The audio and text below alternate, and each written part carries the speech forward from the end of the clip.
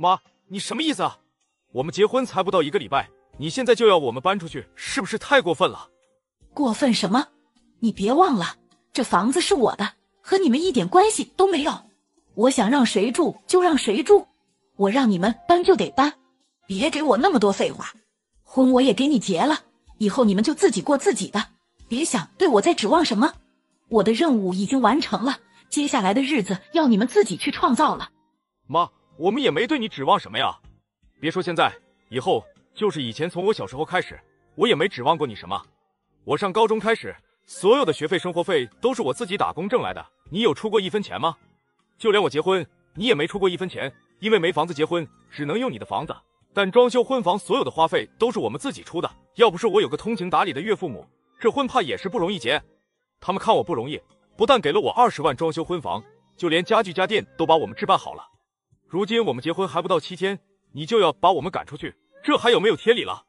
你可是我妈呀，这样做也太不地道了吧！是啊，婆婆，你怎么能这么做呢？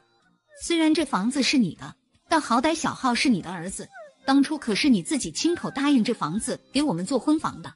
这才几天的时间，你怎么可以出尔反尔？这到底是为什么？儿媳妇，这是我的房子，我想怎么样就怎么样。再说我这样做也是迫不得已。实不相瞒，我第二个儿子也谈了个女朋友，他们决定下个月底就结婚。你们要是不搬出去，他们怎么办？我们家除了这套房就没别的房子了，所以我只能让你们搬出去了。你们也别怪我心狠，我这也是无奈之举。可是妈，你这突然让我们搬出去，你说让我们搬哪里去？以我们目前的经济能力，我们也买不起房子啊。你这不是为难我们吗？买不起房子可以租房子住啊，等你们以后挣到钱了再买不就行了？租的房子不是一样住吗？现在租房子住的人不要太多。对了，你们要是搬出去了，每个月要给我三千生活费。我这个年纪了，没收入来源，这万一有个头疼脑热的，都没钱买药。你是我儿子，孝敬父母天经地义，这钱你们必须得给我。妈，我们现在房子都还没着落呢，你又提出这要求，你还是不是我妈？一点都不为我考虑一下吗？你难道不知道我和小云每月工资加起来也就几千块钱？我们搬出去租房子也要钱吗？剩下的我们也要生活，哪来这么多钱给你？你们没钱，你丈母娘他们有钱了。你看这房子，光装修加上家具家电，少说也有二十多万。既然他们这么有钱，你们租房子或者干什么都可以去找你岳父母，他们肯定不会看着不管的。婆婆，你怎么能说出这种话？我爸妈付出的难道还不够多吗？你作为小浩的母亲，自己一分钱不出，还总是算计着别人的钱。你也太过分了吧，老公，你听到了吗？既然你妈铁了心要赶我们走，那我们还赖在这里干嘛？没有你妈这房子，我们就真的没地方去了吗？不过话说回来，婆婆，这房子可是我们花了二十多万装修的。既然你要赶我们走，那这个装修钱你要还给我们，我们也可以拿去租房子，或者再凑一点去首付一套房。钱啥时给我们，我们啥时搬出去。行。但是二十多万我可没有，我只有两万块钱，要你就拿走，不要拉倒。你们可别说我没钱给你们。妈，二十多万装修费，你只给两万块钱，你是怎么好意思说出口的？我到底是不是你亲儿子？李浩越说越激动，嗓门也越来越大。小云怕动静太大，让左右邻居听到也不好看，就赶紧劝说老公：“老公，算了吧，别和你妈吵了。事已至此，再说也没意义了。”咱们走吧，这房子不住就不住，咱们出去租房子住，这就对了。还是我儿媳妇明事理，既然你们同意搬出去住，那就趁早搬，现在就可以收拾东西了。就这样，儿子儿媳妇在外面租了房子，安顿了下来。时间过得很快，一晃五年过去了，他们也存了一点钱，想想老是租房子住也不是个事，准备首付一套自己房子。老公，前几天我看了一套房子，户型、地段各方面都挺不错的。可是我们的存款还不够首付的，估计还差五六万左右，你说怎么办？要不就算了，等凑够钱再买吧。老婆，这样吧，我先去找我妈商量一下，她应该有存款。我记得我爸走的时候给他留了一笔钱，大概有三十万左右。他要是愿意借给我们，到时候咱连本带息给他还上。我好歹也是他亲儿子，就这点忙，他不会不帮吧？那行，你先去试试，但这个希望咱们不能抱太大。你别忘了，当初我们是怎么被你妈赶出家门的，恐怕那钱也已经给你弟弟了。儿子李浩抱着试试看的心态来到了母亲家，向他说明了情况。事情还真如小云所说的那样，母亲直接就拒绝了。儿子，你要买房了，妈真替你高兴。按道理说，你买房钱不够，妈理应帮忙。可是妈也没多少钱了，要是给了你，妈就没钱给自己养老了。你还是去想想别的办法吧。妈现在要出去了，就不留你了。妈这点养老钱你也别惦记了，赶紧走吧。母亲说完，就把儿子推出门外，自顾自的走了。李浩满脸失望，回到了家。老公，别难过了，我早就猜到了你母亲会这样做。她不借是本分，咱们也别指望她能帮我们。她不愿意帮就算了，我去娘家看看。我爸妈要是有钱，一定不会不管我们的。你放心吧，就算我爸妈没有。他们也会帮我们想办法吧，老婆，我真无能。你嫁给我都这么多年了，我也没能给你一个安稳的家。买房这事还要你操心，真是让你受委屈了。老公，千万别这样说，咱俩是夫妻，没必要这么客气。你也已经尽力了，房子是咱俩住的，不管谁操心都是一样的。你的处境我也了解，我现在就去我爸妈那里，你就等我好消息吧。小云说完就回了娘家。跟父母说了关于买房的事，母亲怕钱不够，二话不说就给了女儿十万。这下小两口终于把房子买下来了，多余的钱也装修了一下，日子总算安定了下来。可谁知道两个月后，婆婆得知消息，大儿子买了新房，就带着小儿子找上了门。哟，嫂子，你眼光可真好啊！不管装修还是房子地段，都符合我心意，我好喜欢。尤其是装修方面，真是别具一格。简直不要太漂亮，那必须的。这房子可是我和你哥精心挑选的，能不好吗？不过和你有什么关系？再合你心意也不是你的房子。你们今天干什么来了？没什么事就请回吧，我要忙去了。儿媳妇，你怎么还能赶客人呢？我们今天就是来看看房子，也没别的意思。我儿子呢？怎么没看到他？今天不是礼拜天吗？他怎么休息天也不在家？不会是去加班了吧？你儿子现在可辛苦了，他为了多挣点钱，起早贪黑，一天还要打好几份工，根本没有休息天。他这么努力挣钱，还不是想早日还清我爸妈他们的钱？你是不是以为他很闲呀？你说什么？儿媳妇，我儿子这么辛苦努力工作挣钱，就是为了还你娘家的钱，这也太过分了吧？又不是别人，你父母有必要急着我儿子还钱吗？真是的，难不成不是自己的儿子不心疼？都是一家人，他们的钱迟一点还又怎么了？至于把我儿子逼成这样吗？婆婆，你真是站着说话不腰疼。小浩是你儿子，你心疼过他吗？当初我们买房子差五万块钱，你都不愿意借我们。你现在话说的那么好听，怎么不拿出实际行动来帮帮他呢？嘴巴谁不会说？我爸妈的钱也是他们的养老钱。而且我爸现在身体也不大好，每个月都在吃药，他们也就那点养老金，根本不够用，所以借他们的钱，当然越早还上越好。儿媳妇，你这话说的，我哪里有钱给你们？我有三个儿子，你又不是不知道，现在还有小儿子没娶媳妇，我正愁没钱给他买房子呢。我就跟你说实话吧，今天我们来还有一件更重要的事，就是我你这个小叔子年纪也不小了，他去年谈了个女朋友。女方家现在正催着他们结婚呢，可是要求有房有车，我一个老太婆哪有那么多钱去买呀？不过现在看了你的新房后，我一下子就放心了，真是让我太满意了。什么意思？我的房子和你有什么关系？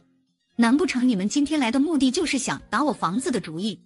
恭喜你，儿媳妇，你猜对了。现在我身上只有三十万现金，这也是我老头子留下来给我养老的。可是这点钱付个首付都不够，要不我把这三十万给你，你把这套房子让给你小叔子结婚用吧。难得你小叔子也很喜欢这房子，只要你同意，我立马把三十万给你。老太婆，你做什么梦呢？三十万就想买我这套房，这么无耻的要求，你是怎么说出口的？儿媳妇，你怎么跟我说话的？你要是不同意，那我小儿子怎么结婚？你是做嫂子的。难道你就眼睁睁看着你小叔子婚事泡汤吗？我告诉你，这件事你同意也得同意，不同意也得同意，由不得你，你知道吗？我为了你小叔子的婚事，可真是愁白了头发。嫂子，我妈说的对，你是最大的，你小叔子结婚不该送份大礼吗？现在我正缺房子，你刚好有，那你索性把房子送给我好了，我一定感激万分，这辈子都不会忘了你的大恩大德。我告诉你，我女朋友家可是有权有势又有钱，等我们结婚后，指不定我们全家人都要仰仗他们呢。你女朋友家再有钱也和我没关系。我不稀罕也不羡慕，你没房子结婚，找你女朋友商量去，在我这胡搅蛮缠什么？这房子是我们花钱买的，和你有什么关系？难道没有这套房，你们就不结婚了？没房子，你小叔子怎么结婚？你都嫁进我们家这么多年了，住哪都一样。这些年你们不都是租房子住吗？以后继续租房不行吗？可我小儿子就不一样了，总不能在出租房里结婚吧？老太婆。你这如意算盘打得可真响啊！当初老二结婚的房子也是我们拿钱装修的，我们才结婚七天，你就把我们赶出门，说要给老二腾地方，我也没和你计较。这些年一直住出租房，现在好不容易省吃俭用买了这套房，你又想让我们把我房子给老三结婚用，你说凭什么？你脸那么大吗？你想干嘛就干嘛，脸皮真是够厚的。当初买房子差五万块钱，你都舍不得借给我。这才两个月时间，老三结婚，你立马拿出三十万给他结婚，都是你儿子，你为什么要这么偏心？难道小浩不是你生的吗？你的东西你偏心，我无话可说。可这房子是我的，和你没有半毛钱关系，你凭什么到我家来指手画脚的让我给房子？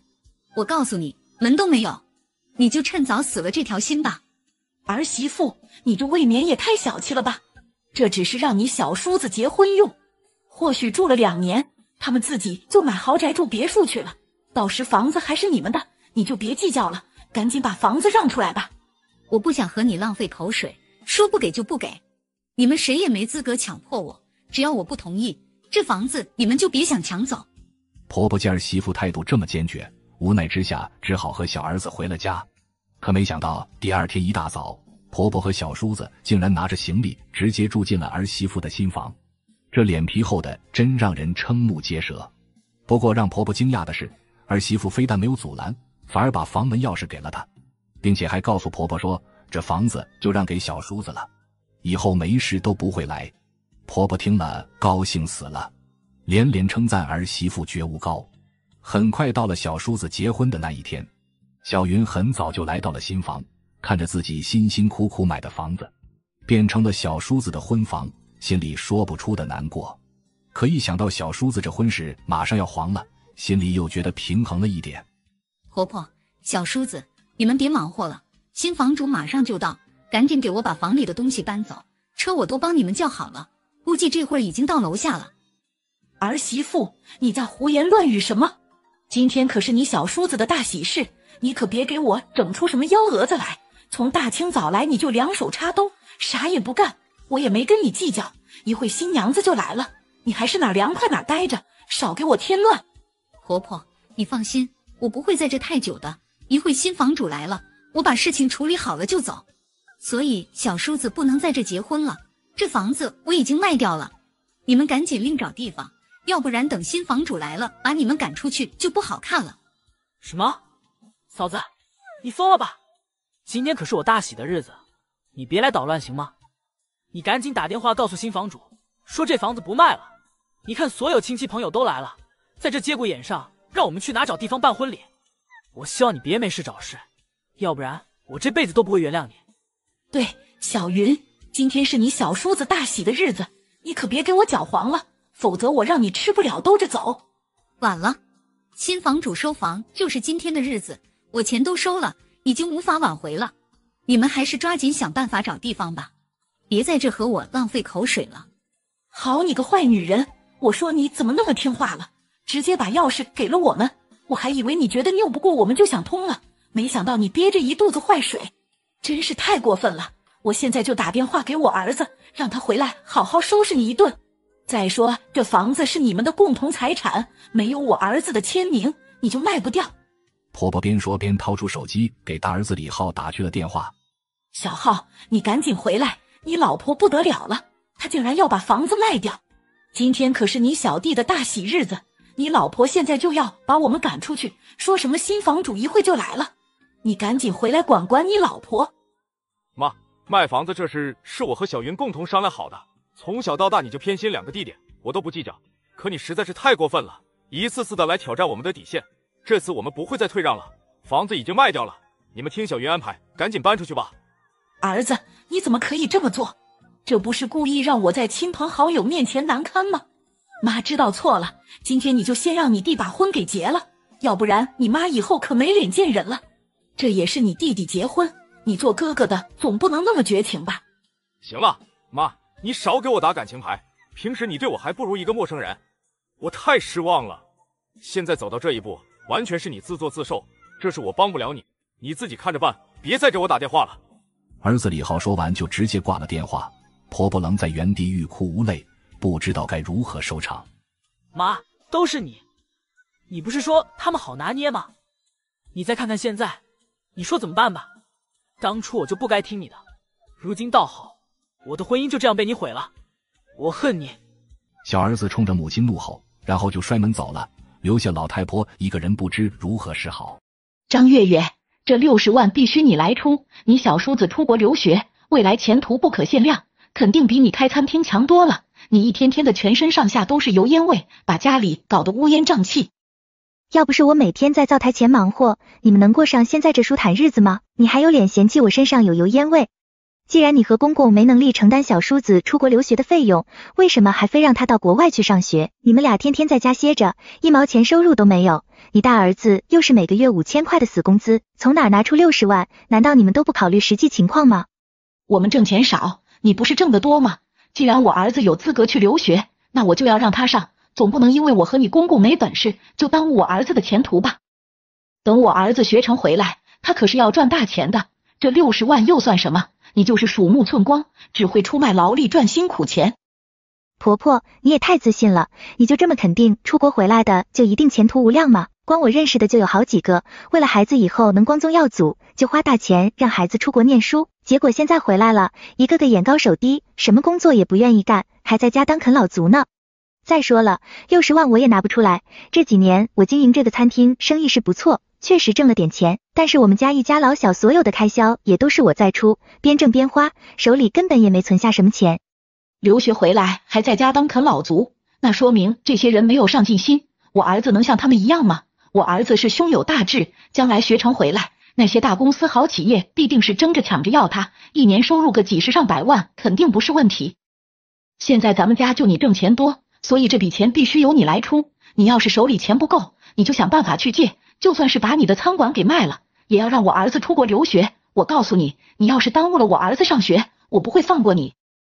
呵呵，我倒想看看你想如何不放过我。我是欠你的，还是欠你儿子的了？他是你生的，又不是我生的，凭什么他上学要我出钱，还想让我把店卖掉？你大白天说什么梦话？你这是什么态度？我是你婆婆，你就是这样对我说话的吗？我命令你把餐馆卖掉，供你小叔子上学，等他学成回来。我们家就飞黄腾达了。今天你要是不拿钱，我就让我儿子和你离婚。那你就让你儿子和我离婚吧。他要真这么听你的，那我也没有和他过下去的必要了。婆婆直接打电话让大儿子回来。大强啊，你赶紧说说你媳妇吧，让她出六十万供你弟弟出国留学。她死活不同意，以后我们全家都得指着你弟弟翻身呢。等他翻身了，你这当大哥的脸上也有光啊。难道你就甘心给人打一辈子工吗？妈，钱是我老婆自己开饭店挣的，她想拿就拿，不想拿就不拿，我可没资格要求她。不过就算是我自己有六十万，我也不可能拿给你们用。从小你们偏心我弟就算了，现在还想让我拿钱供他读书，你觉得可能吗？你是他亲哥，帮衬下弟弟怎么了？我们家以后飞黄腾达就靠你弟弟了。你没出息，难不成你也想让你弟弟没出息吗？将来你弟赚大钱，难道还会亏了你这当哥哥的吗？妈，你可别拿这种话糊弄我。他要是赚一百万，但凡分我一万，我就当他是亲兄弟。从小他仗着你们的偏爱，从没把我这个哥哥放在眼里。你还真以为我们兄弟情深啊？我现在把你们接到家里养老，已经是仁至义尽了。他的学费我家一分钱都不会出。妈，我哥不愿意出钱，那你和爸想别的办法。反正我必须要出国留学，并且我已经和我那个富二代女朋友说好了，要是现在又因为没钱去不了，那我这脸还有哪个？你们俩听到了吧？我儿子还谈了个有钱的女朋友，这简直是双份保险。等他再去国外镀层金，那前程就是一片大好。你们不能耽误我儿子的前途，不然我和你们没完。请你搞清楚，我们只是他的哥嫂，不是他父母，没义务供他上学。他要是非得出国，你和爸就自己拿钱，没有钱就别去上学，就这么简单。你们两个坏良心的，大强，你和你老婆要是不拿出六十万，我就和你断绝母子关系。你这个忤逆不孝子，我就当是白生你养你了。妈，你这话太伤我的心了。这些年一直是我和月月在给你们老两口养老，让你们吃穿不愁，难道我还不够孝顺吗？你不愿意给你弟弟出学费就是不孝顺，你以为把我和你爸接到家里管吃管住就是孝顺了？别自我感动了，凡是顺着我的心意才是孝顺。我让你干什么你不干什么，你还有脸说你孝顺我？这都是表面工作假孝顺。你还真是歪理一大堆。既然你觉得我们不是真孝顺你，那你们就从我家离开吧。你觉得谁是真孝顺你，你就去找谁给你们养老。以后我和你大儿子不会再伺候你们了。走就走，以后我小儿子发达了，你不要来巴结我们。到时候我们认识都不认识你，不靠你们，我一样能送我儿子出国读书。最后，公公婆婆卖房卖地，又欠了一身债，让小叔子出国。四年后，小叔子回国求职，却四处碰壁。但嫂子却经过几年努力，把餐馆做成了酒店。儿子，你不是谈了个富二代女朋友吗？要不然你让你那有钱女朋友出钱，你们俩也创业做生意吧。妈，那都多久的事了？到国外不久，我们就分手了。因为我学的酒店管理专业，他觉得我没前途，就把我甩了。现在我都已经把他微信删除了。儿子，那你也不能天天在家闲着呀，你得赶紧找工作，出去工作赚钱了。当初爸妈为了你可是砸锅卖铁。还欠了几十万呢，就等着你留学回来有出息了，跟着你享福呢。可现在你都回来半年了，一分钱没挣到，还在家啃老。妈，我不是没有找工作，简历我都投了上百份了，不是石沉大海，就是公司太垃圾。我看得上的酒店，可惜老板是个有眼无珠的，给我的薪水仅仅比服务员多二百块。你说这我怎么去工作？我这匹千里马遇不到伯乐啊，我能有什么办法？妈，要不然跟我嫂子说说，让我去她酒店上班吧，我看他那个酒店规模还挺大的。儿子，你难道都忘了他当初多么看不起你吗？你绝对不能去他的酒店，你要是去了，他的尾巴不得翘到天上去。儿子，你就要到其他酒店去，一定要干出一番事业，让他后悔当初没有给你出学费。妈，我要是去其他酒店，就得从基层做起，等我熬出头，都到猴年马月了。要是去我嫂子那，进去大小也得是个经理吧，相当于少奋斗十来年呢。就这样，婆婆和小叔子又找到月月。嫂子，你就让我到你的酒店工作吧。我在国外学的酒店管理，我可以把我学到的先进理念运用到你的酒店里，我保证能让你的酒店业绩提升百分之两百。你现在的客房经理一看就是个愣头青，他什么都不懂，你就给他一个月开一万五的工资，我来帮你干，不说多，你一个月就给我开两万五，我肯定把你的酒店做成全市第一。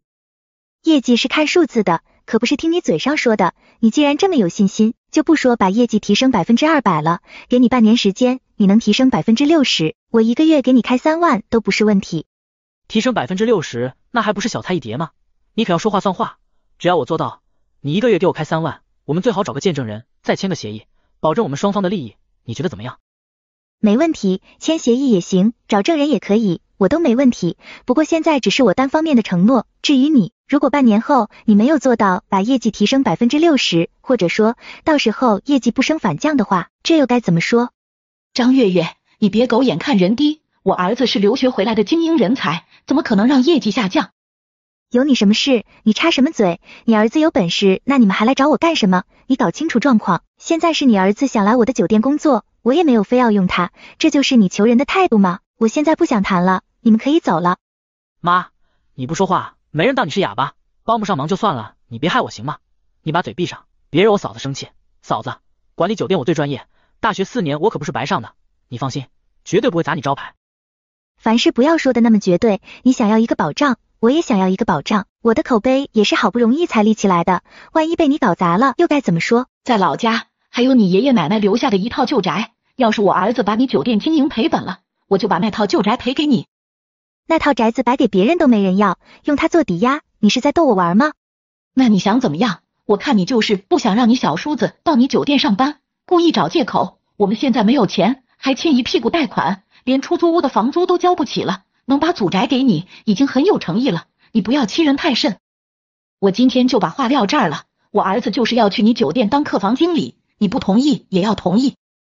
哼，我就是不同意，你能怎么样？你儿子要是真有真才实学，至于到现在还找不到工作吗？想让你儿子拿我酒店练手，你觉得可能吗？现在请你们马上离开。这时，老公王强走了过来。月月，今天我妈的要求你同意也要同意，不同意也要同意。王强，你发什么神经？怎么也跟着你妈一起胡闹？是你逼我的。你说你挣那么多钱有什么用？对我还不是一样抠抠索索？我就是想买个六十万的越野车，你都不让买。你挣再多钱我也花不上，以后我也不再听你的了。你睁着眼睛说瞎话，但凡你花钱花在正途上，我哪次没让你花？现在你穿衣服都要穿名牌，就凭你那一个月五六千的工资，你能消费得起吗？再说了，现在咱们家已经有两辆三十多万的车了，都是这两年才买的，你为什么非要换六十多万的车呢？我就是想换不行吗？为什么我连买自己喜欢的东西都要经过你的同意？我连花钱的自由都没有，你几十万几百万的挣，而我口袋里从来没超过过五万块，为什么我花钱非要找你拿？我活得太憋屈了。因为钱是我挣的，只有我知道挣这些钱有多不容易。你看我酒店做起来了，你怕累不帮我就算了，反倒开始肆意挥霍我赚的钱了。平时你花钱如流水，明明不需要花钱的地方，你都要把钱扔进去。有时候为了在朋友面前撑面子，一顿饭就砸进去几万块，钱不是你挣的，你真是不知道心疼啊！是啊，你现在挣大钱了，你就觉得自己高人一等了，就可以不尊重我了是吗？我告诉你，你挣的每一分钱都是我们夫妻共同财产，你挣二百万就有我的一百万。可这些钱都在你口袋，每次我多花一点，你就唠叨个没完。儿子，你总算长脑子了。你说的对，他挣的钱都有你的一半，你得把钱拿到自己手里才对。一个男人被女人拿捏的滋味可不好受。张月月，从今天开始，这个家我要说了算。我有两个条件，你必须答应。第一，把我爸妈欠的债都还了；第二，让我弟去酒店当客房经理。这两个条件你要是答应，我就和你继续过；要是不答应，我们就离婚分财产。哥，还有一个条件，财务是酒店的命脉。以后酒店的财务部要由你掌管，每个月核算盈利，你们俩平分，一个月分一次。比如挣了十万，就一人分五万。儿子，我也有一个条件，这酒店毕竟都经营了三四年了，前几年的盈利你也得算清楚，把该属于你的那一半拿回来，一分钱都不能便宜了你老婆。好，月月你听清楚了吧？那就把我妈和我弟说的这两个条件加上，我觉得这四个条件都是合情合理的，你看你答不答应吧？要是不答应，我们该离婚就离婚，我还能拿回属于我的那一部分。王强，我看这几年你真是日子过得太舒服了，想让我答应这四个条件门儿都没有。但是你想要离婚，我答应你，财产我也会分给你，就当我当年脑子进水的损失。很快两人离了婚，月月为了保全酒店，分给王强四百万，但是王强母子却仍不罢休。妈，我准备用分的这四百万也开一个酒店。这几年我看月月经营酒店确实挺赚钱的，现在我弟弟从国外回来，他专业就是做酒店管理的，咱们一家人也把事业做起来。你和爸欠的那些账就先不还了，等我们酒店开起来赚钱了再还吧。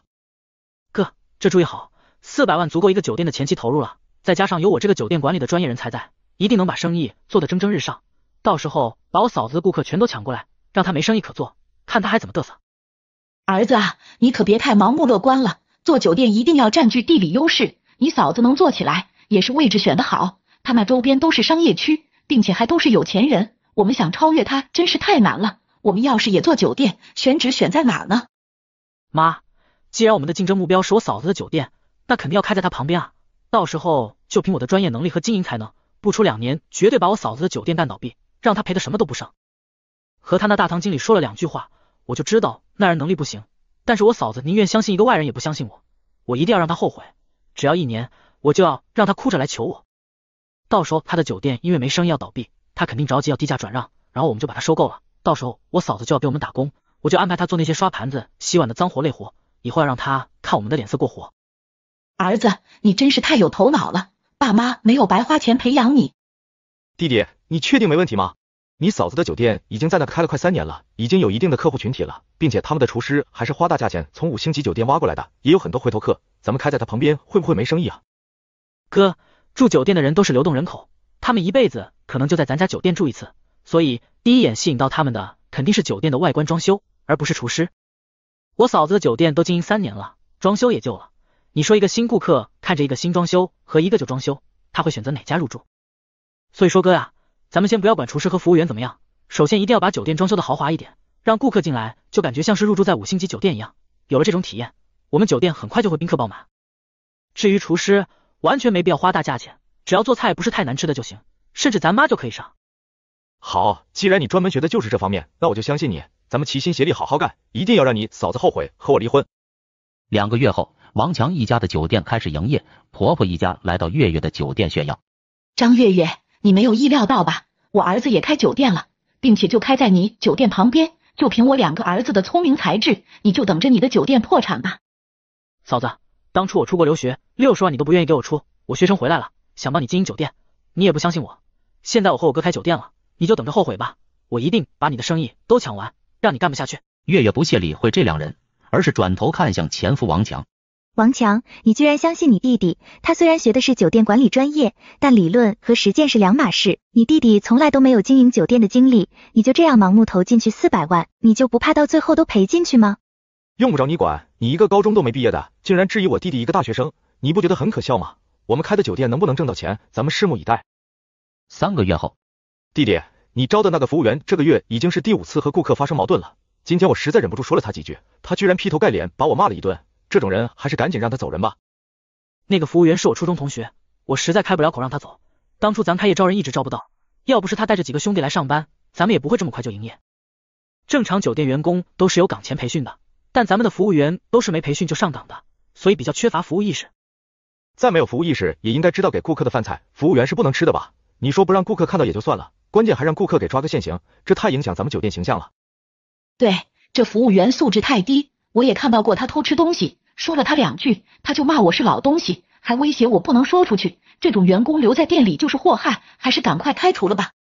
不行，要是把他开除了，那和他一起来的那几个小弟肯定也要走了。要是没人干活了，咱们这酒店还怎么营业？现在我们得找人培训一下员工，提升员工的服务意识。弟弟，你在学校不就是学的这些吗？培训员工的事你来做不就好了？干嘛还要再花钱找人来培训？我在学校学的是如何管理员工，又没有学如何培训员工。所以我对培训这块也是一窍不通啊。又过了一个月，大强，你能不能先给我四十万，让我把欠的债还了？借别人的钱已经四年了，光利息都好几万了，人家都知道你弟从国外回来了，这段时间都催我还钱呢，再不还人家都要上门讨债了。妈，为了开这个酒店，我把手里的钱都投进去了，我哪里还有钱啊？不仅如此，开酒店这几个月也一直在赔钱，我看到币也只是早晚的事。开店之前，我弟还信誓旦旦说一定能经营好。你看看，这才几个月，这一天能来几个顾客，还说自己擅长管理酒店，有些地方他还没我懂得多。我看大学四年他只顾着玩了吧，根本没学到真本事。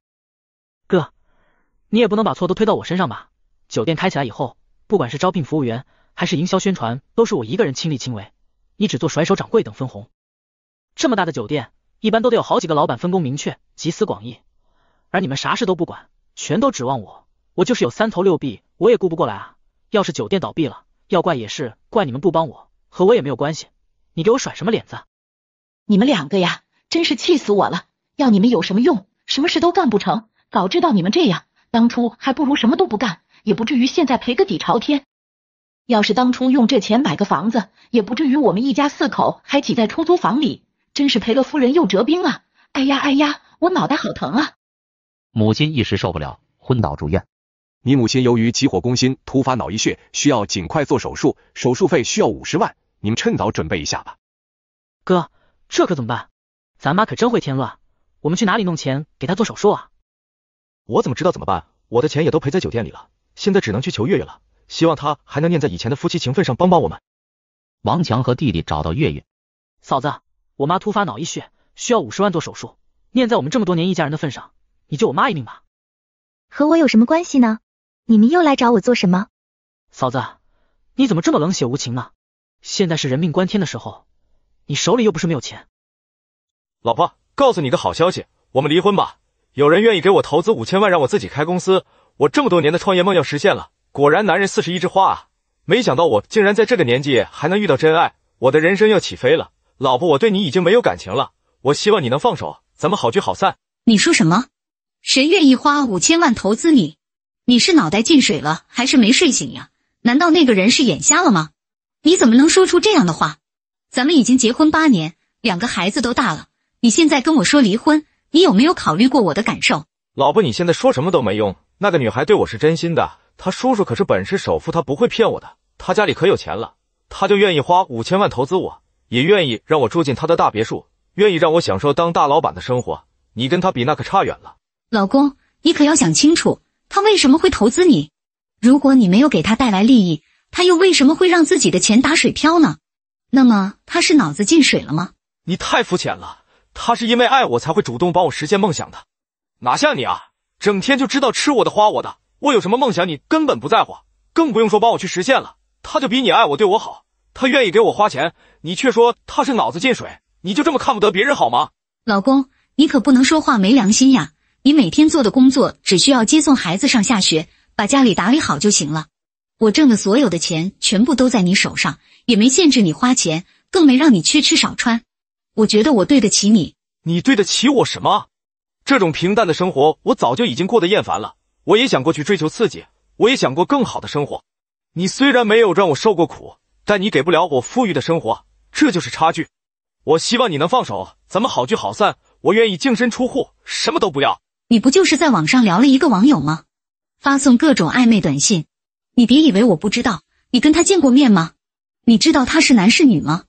网上现在这种骗子多得很，他就是想骗你的钱，你连他人都没有见过，就敢跟我说他要花五千万让你当老板，真是可笑的很。我不许你说他的不好，他都把他的身份证给我看了，我知道他所有的信息，他就是比你强，比你漂亮，还比你更有钱，他是开公司的大老板，我跟他志趣相投，我就是要跟他结婚。哼，也就只有你这样没脑子、追求刺激的人。才会上当受骗，很明显他就是一个骗子。你说你现在都快四十岁的人了，怎么还被这种甜言蜜语所迷惑？你有没有点心呢？你身上一身肉，头发都秃顶了，整个一油腻大叔。如果你不是我孩子的父亲，我真想给你一个大嘴巴子。你敢动我一下试试看，我就知道你这种女人最擅长妒忌别人。你这种女强人强势又可怕，每天就知道上班打工。你有没有关心过我？有没有关心过两个孩子？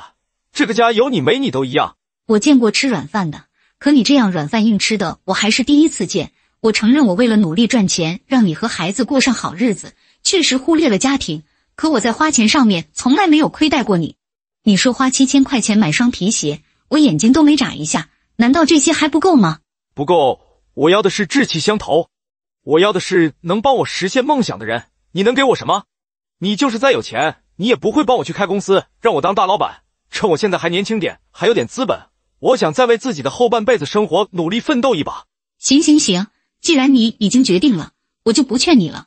我希望你不要后悔，你也不想想有哪个富家女会在网上天天没事聊天，比你年轻、比你帅的的男人多的是，人家怎么会选你？随你怎么说吧，这个婚呀，我是离定了。反正我什么不要，家我也不要，我宁愿净身出户。反正我以后有的是钱，我也不在乎你这一点。小莫被老公王哲气得没话说了，直接给婆婆打去了电话。婆婆一听儿子闹着要离婚，赶忙就来了。儿子，你抽的哪门子的风呀？好好的日子不过，你离什么婚呀？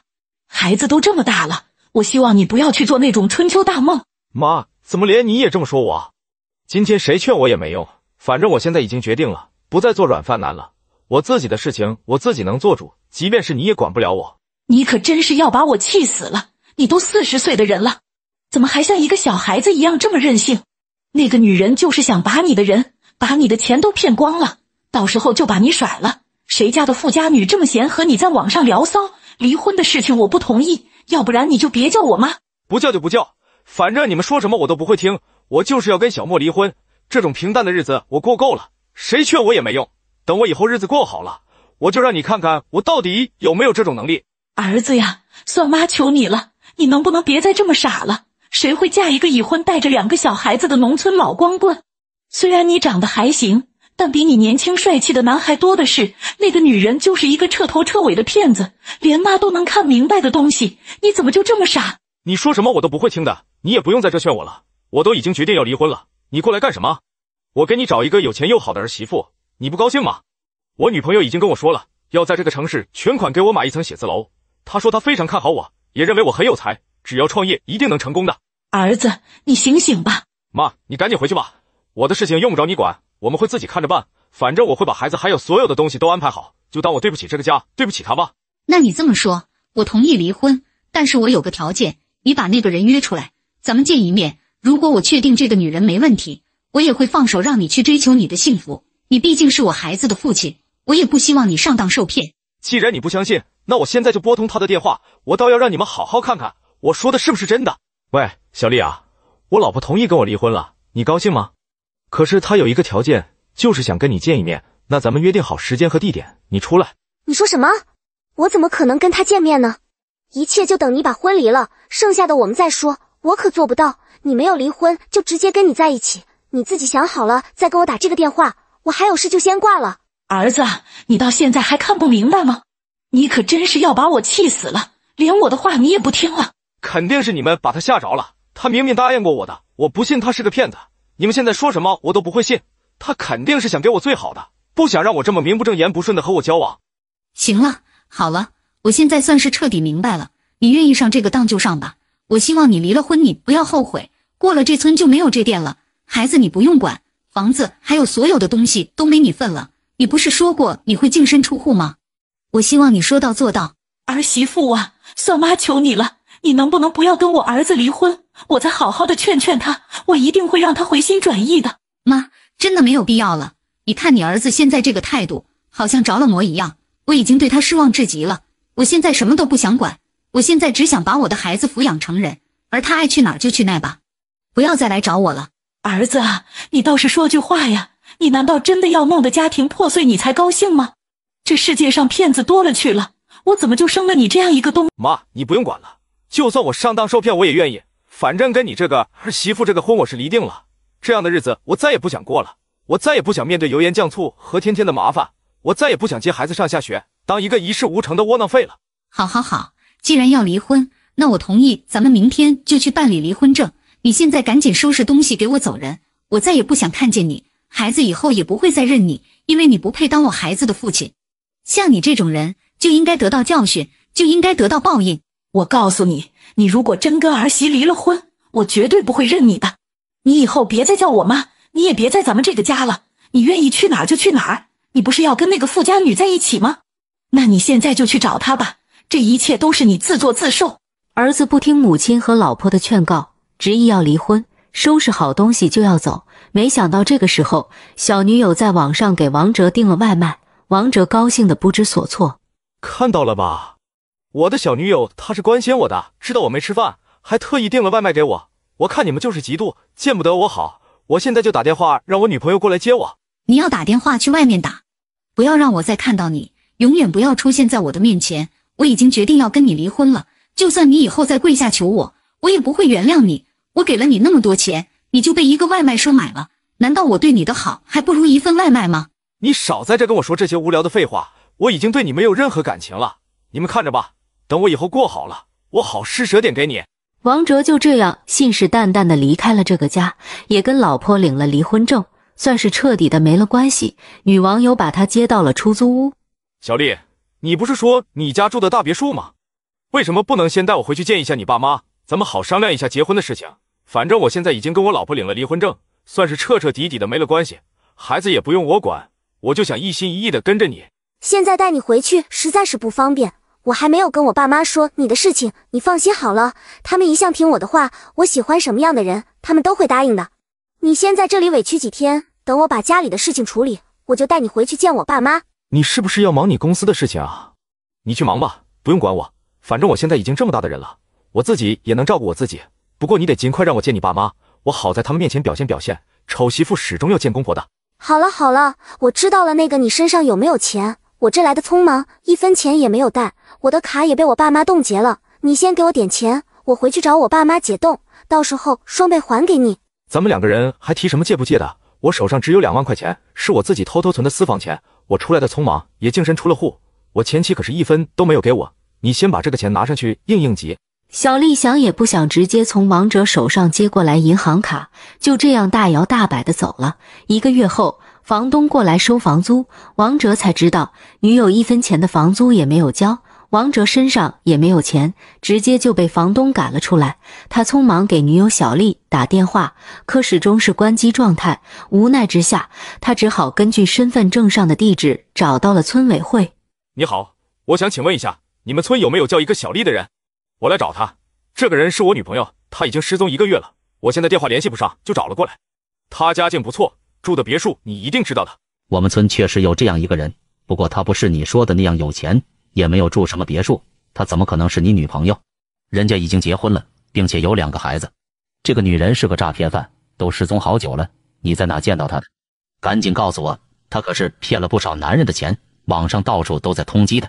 你说什么？你不会是在跟我开玩笑吧？我绝对不会相信他是这样的人。你是不是搞错了？你确定是他吗？我怎么可能弄错呢？你赶紧告诉我他在哪？他可是我们村里边的败类，他爸妈、她老公一直在找他，都失踪了好几年，警察也一直在找。你是不是被他骗了钱？骗了多少？赶紧跟我说一下。没有没有，看来是我搞错了。也许这个人不是他呢。王哲失魂落魄的从村委会走了出来，他总算清醒了。他身无分文，没地方可去，只能回到老家求母亲收留。妈，我身上的钱全部花完了，你能不能让我在家里面住一段时间？等我找到工作，找到住的地方，我就会走。我现在真的知道错了，那个女人真的是个骗子，是我上了她的当。我跟你说的话，你是一句也没有记住呀？你就非要自己上了当才能醒悟？不是我不收留你，你也看到了，你弟弟结了婚，马上就有孩子，我可没有功夫伺候你。妈，不用你伺候我，你只需要给我一间房，收留我就行。我居然还妄想着去过大老板的生活，我可真是太天真了。好了好了，你上当是早晚的事情，用不着在这跟我说这些没用的废话。人呀，只有在上了当、受了罪的时候，才能得到教训。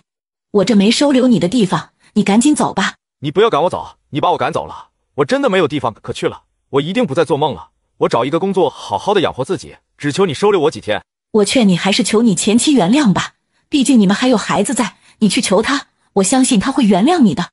你走的时间也不长，你老婆她就是一个心善的人，看在孩子的面子上，肯定会让你回去的。我也帮不了你。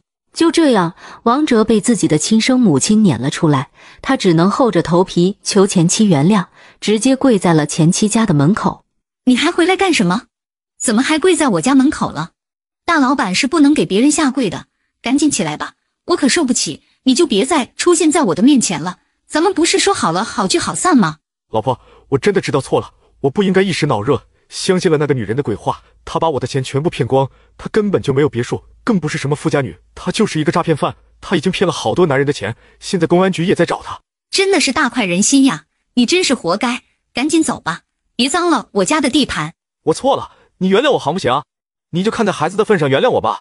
我愿意做家庭主夫，我愿意给你洗锅刷碗，我愿意送孩子上下学。我真的知道错了，你大人不计小人过。像你这种城府深又不安分的男人，我根本不会要。就算我原谅了你，等过一段时间又有女人勾引你，你照样还会上当，因为你没能力，可你的野心却不小。我现在算是彻底的看明白了，孩子我自己会养。你用不着拿孩子来威胁我。不不不，我没有要威胁你的意思。我求求你收留我，我不逼你跟我复婚，我只求你能给我一个遮风挡雨的地方。要不是那个女人骗我，她把我身上仅有的钱骗光，我也不会这么落魄。你都不知道我这段时间是怎么过的。你跟我说这些干什么？跟我有什么关系？你不用在这儿跟我废话了。我是绝对不会原谅你，也不会给你遮风挡雨的地方，更不会收留你。我看你的如意算盘是要落空了，给我滚！你不要抛弃我行不行？我后悔了。我不应该跟你离婚的，我现在真的是一无所有了，你就原谅我吧。我现在给你当牛做马，我给你当保姆，你让我干什么我就干什么，我绝无怨言。我现在根本就不需要你了，我给过你无数次机会，是你一次都没有珍惜。既然错过了，就是错过了，你以后好好的生活吧，别来打扰我。我只是精神上背叛了你，我没有做过对不起你的事情啊。为什么就这么一件小事，你却又抓着不放，这样有意思吗？孩子知道了也不会原谅你。你给我滚！现在看见你这副样子就觉得恶心。我告诉你，像你这种恶心的男人，我看一眼都觉得脏。咱们没什么好说，我希望你好自为之。爸妈，我刚才偷听我嫂子打电话，不听不知道，一听发现了大秘密。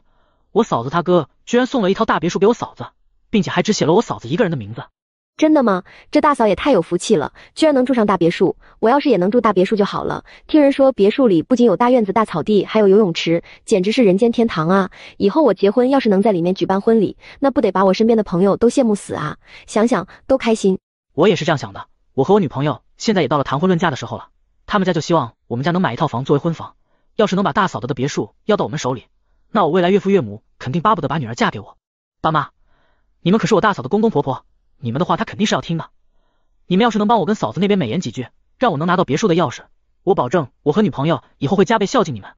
爸妈，我可是你们最疼爱的小儿子，全家人都盼着我能顺顺利利的。我对小芳是真心喜欢，只要我们能在一起，你们这做父母的可就是我们的大恩人，我们两口子肯定会感激不尽的。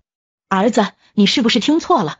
月月他哥不是才刚刚租了个店面做生意，哪能眨眼功夫就发达到能送独栋别墅的程度了？你说的这个事情靠谱不？咱得搞清楚实际情况，别净听些捕风捉影的事儿。哎呀，我大嫂可真是个大能人啊！她哥哥那么能干，他倒好，这么大的事情都能瞒得滴水不漏，也不知道他心里到底在盘算些什么。哼，这种隐瞒大家的行为真是让人鄙视。妈，我绝对没有听错，我偷听我嫂子打电话可不是一天两天了，这种大新闻我怎么可能听错呢？但我觉得我嫂子就是故意不告诉我们这些，她可能就是不想让咱们家人住那大别墅。那可不行，她既然嫁到我们家了，那她的东西肯定就是咱家的了。她这样藏着掖着，根本就是没把我们当成一家人。既然现在我们知道了这套别墅的事，那这好事可不能光让她一个人享受，咱们得想办法把这房子要到咱们手里才行。既然你嫂子白白得了这一套别墅，她和你大哥是夫妻，不知道她有没有把这事告诉你大哥？要不咱们还是找个时间和你大哥好好商量一下，听听他的意见吧。这样也比较稳妥，你们觉得呢？爸，以我对大哥的了解，我大哥肯定也不知道这件事。要是他知道了，肯定早就跟我们说了。我们姊妹几个从小一起长大，什么事都分享，他哪会有秘密瞒着我呢？我也觉得大哥他不一定知道这事儿，他那个人啊，就是爱傻掰，喜欢夸大其词。就算他一个月只赚三千块，他也要吹成三万。以他的性格，要是他知道嫂子有独栋别墅这事儿，早就嚷嚷的满城风雨了。咱们怎么可能还不知道呢？你们分析的对，看来你嫂子是藏着私心呢。这可不行，她毕竟是我们家的儿媳，她大哥要是真把独栋别墅给了她，那就不能算是她一个人的。咱们得想办法让这别墅真正属于我们家，让大家心里都踏实。最好是那让你嫂子把别墅的产权转给咱们，这样才算真正是咱们家的。所以呀，咱们现在的目标就是想尽一切办法从你嫂子那儿拿到这座别墅的产权，这样大家都安心。妈，你是不是有什么好办法了？毕竟现在房子在我嫂子手里，我们是比较被动的。我觉得我们还是得先哄着她，如果软的不行再来硬的。总之，无论如何都要把这套别墅拿到手。儿子，你放心，我心里有数。想当年我在娘家时，那可是说一不二的大姐头，家里姐妹哪个敢不听我的？就连父母见了我也得给我几分薄面。你当我这个家婆是白当的吗？他敢不听我的话，让他吃不了兜着走。爸妈，我能不能娶到小芳，就靠你们了。妈，等我们换了房子，我要把我的房间变成一个小城堡。看到迪士尼的城堡非常好看，我一直想要一个，住在那里肯定很舒服。到时候我就是世界上最快乐的人。你们两个呀，给我好好听着，一定要全神贯注，别心不在焉的。这别墅可不是那么容易得来的，要是稍不留神，它可就飞了。这事儿得认真对待，别给我掉以轻心。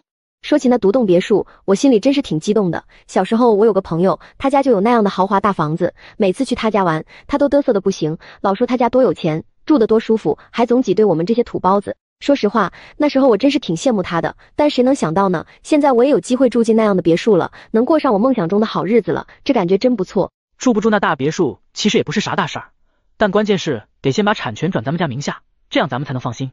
今天咱们的目标就是这个，得让这别墅真正成咱们的。要是这别墅一天不定下来，咱们心里都悬着。要是我嫂子她大哥啥时候又拿回去了，那咱们这不白高兴一场吗？所以啊，咱们得赶紧把这事给办妥了。嫂子回来后，咱们四个人可得一起问她关于房子的事儿。不管她觉得咱们问的有没有理，咱们的目的就是要她把房子转让给大家，这样咱们才能掌握主动权。爸妈，到时候你们可要拿出公婆的气势来，不要让她忽悠咱们。爸妈，我二哥说的对，你们可得拿出公婆的威严来，好好教导教导我嫂子。妈，你得展现出婆婆的气场，别让嫂子小看了你。我们都会在你身边给你加油鼓劲的。妈，你可是咱们家的大女王，这事就只能靠你出面了。你得拿出女王的气势来，我相信你肯定能把她给镇住。你是婆婆，怎么做都是对的，你就大胆的去做，咱们全家都支持你，我们是你的后盾。哈哈哈，你说的可真在理。她只是我们家的儿媳，在这个家我才是老大。谁要是敢不听我的，谁就别想好过。要是他不听我的，我就叫我大儿子来收拾他。张月月是我们家的儿媳，居然背着我们藏大别墅，真是一点规矩都不懂。我这就去好好教育教育他，让他知道知道厉害。婆婆逐渐迷失在儿女对自己的奉承中，觉得从月月手里要到别墅势在必得。晚上，月月下班回到家，月月，你今天上班累不累呀？公司里事多不多？工作还顺心吗？我们给你准备了一桌好吃的。都是你喜欢的菜，赶紧洗洗手过来吃吧。爸妈，今天这气氛怎么有点怪啊？还是家里发生啥好事了？你们怎么突然做了我最喜欢吃的菜，还等我回来一起吃？真是让我有点摸不着头脑了。自从我嫁过来，要么就是我做饭给你们吃，要么就是你们做饭却从来没等过我，好像我这个媳妇不存在似的。有一次我加班到很晚才回家，你们留下一桌剩饭剩菜，饭都是冷的，也没人帮我热一下，我只能含着泪吃冷饭，最后还得自己洗碗。你们今天突然这么反常，肯定是有什么事吧？有啥话就直接说，别在这拐弯抹角的。月月，那我就直说了。我听说你有钱的哥哥给你买了栋别墅，房产证上写的还是你一个人的名字。这么大的事，你怎么没跟我们这些长辈说一声呢？咱们得好好聊聊这事。为啥这套房子写你自己的名字？你这样做是不是太自私了？你可是我们家的人，你嫁到我们家来，那可是你的福气。自从你嫁过来，我家可没亏待过你，吃的喝的哪样少了你的？我们家对自己人可是非常好的。你出去打听打听，看谁家的儿媳妇能享受到这么好的待遇。月月呀，你既然嫁到老王家了。就是我们老王家的人了，房产证上怎么能只写你一个人的名字呢？你让咱们老王家的脸往哪放啊？到时候邻居们都得笑话咱们，说咱们老王家连这点规矩都不懂。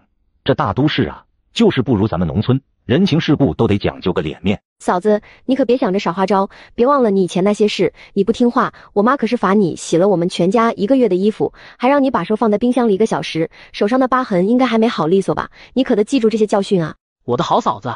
你可得听爸妈的话，别跟他们对着干，不然到时候吃苦头的可是你自己啊！月月，你得明白，你大哥给你的那栋别墅，其实也算是给我们这个家的，你怎么能一声不响的就把别墅登记在你一个人名下呢？你这样做有没有想过我们老王家的感受？你是不是有什么自私的想法？还是你在外面有了别的男人？这可太荒谬了，我绝对不能接受！你可千万别做出对不起王强的事，别给他戴绿帽子，我们老王家可丢不起这个人。我的天呀，嫂子，你怎么能是这样的人呢？你是不是因为外面有人了，所以才不告诉爸妈这么大的事情的？你这样做真的让我们祖宗都感到难过。你这样让我们在别人面前都抬不起头来，走在街上都觉得丢人。怪不得我总觉得有点不对劲，怎么你大哥从来不来咱家吃饭呢？有次我碰到你和他一起喝茶，聊得还挺开心的，手里还拿着图纸，不知道在计划啥。当时我还想你们感情真好，可现在想想，你们关系真不简单，看着就让人不舒服。我真不知道你背着我们家到底在干啥，月月。你得给我说清楚，这别墅到底是怎么回事？你和你大哥真的是别人说的那样吗？你们俩到底有没有不正当的关系？我要听你自己说，别给我遮遮掩掩。你们几个最好放尊重点。这别墅是我哥看我家现在过得紧巴巴的，正好他店里生意好赚了点钱，他就想着就我这么一个妹妹，想让我过得好点，所以才把这别墅送给我的。这就是哥哥对我的一份心意。我警告你们，不要随意往别人身上泼脏水。我哥他心好，没想到你们用这种龌龊的心思想他，真是以小人之心夺君子之腹。你们可以说我，但别说我哥，他没做啥错事，他就是想保护我，想帮我这个妹妹。你们别瞎猜，别乱说，乱讲话可是要负责任的。月月，我们不在乎你和你哥哥之间的事，但别墅的事得说清楚了。这是你哥给你的没错，但我们现在更关心的是怎么保护这房子，不被那些心怀不轨的人盯上。所以你最好赶紧把别墅过户到我和你公公名下，这样大家都能安心。我算是知道你们什么意思了，假惺惺的给我做一桌子菜，原来是想抢我的别墅啊！告诉你们没门，这别墅是我哥的，也是我的，你们就别做梦了。你们这些人呐，网络速度倒是挺快的，我哥刚给我说了房子的事，你们就知道了，是不是想趁机捞点好处啊？真是打得一手好算盘，你们也别想着把我哥的别墅过户到你们名下，那是不可能的。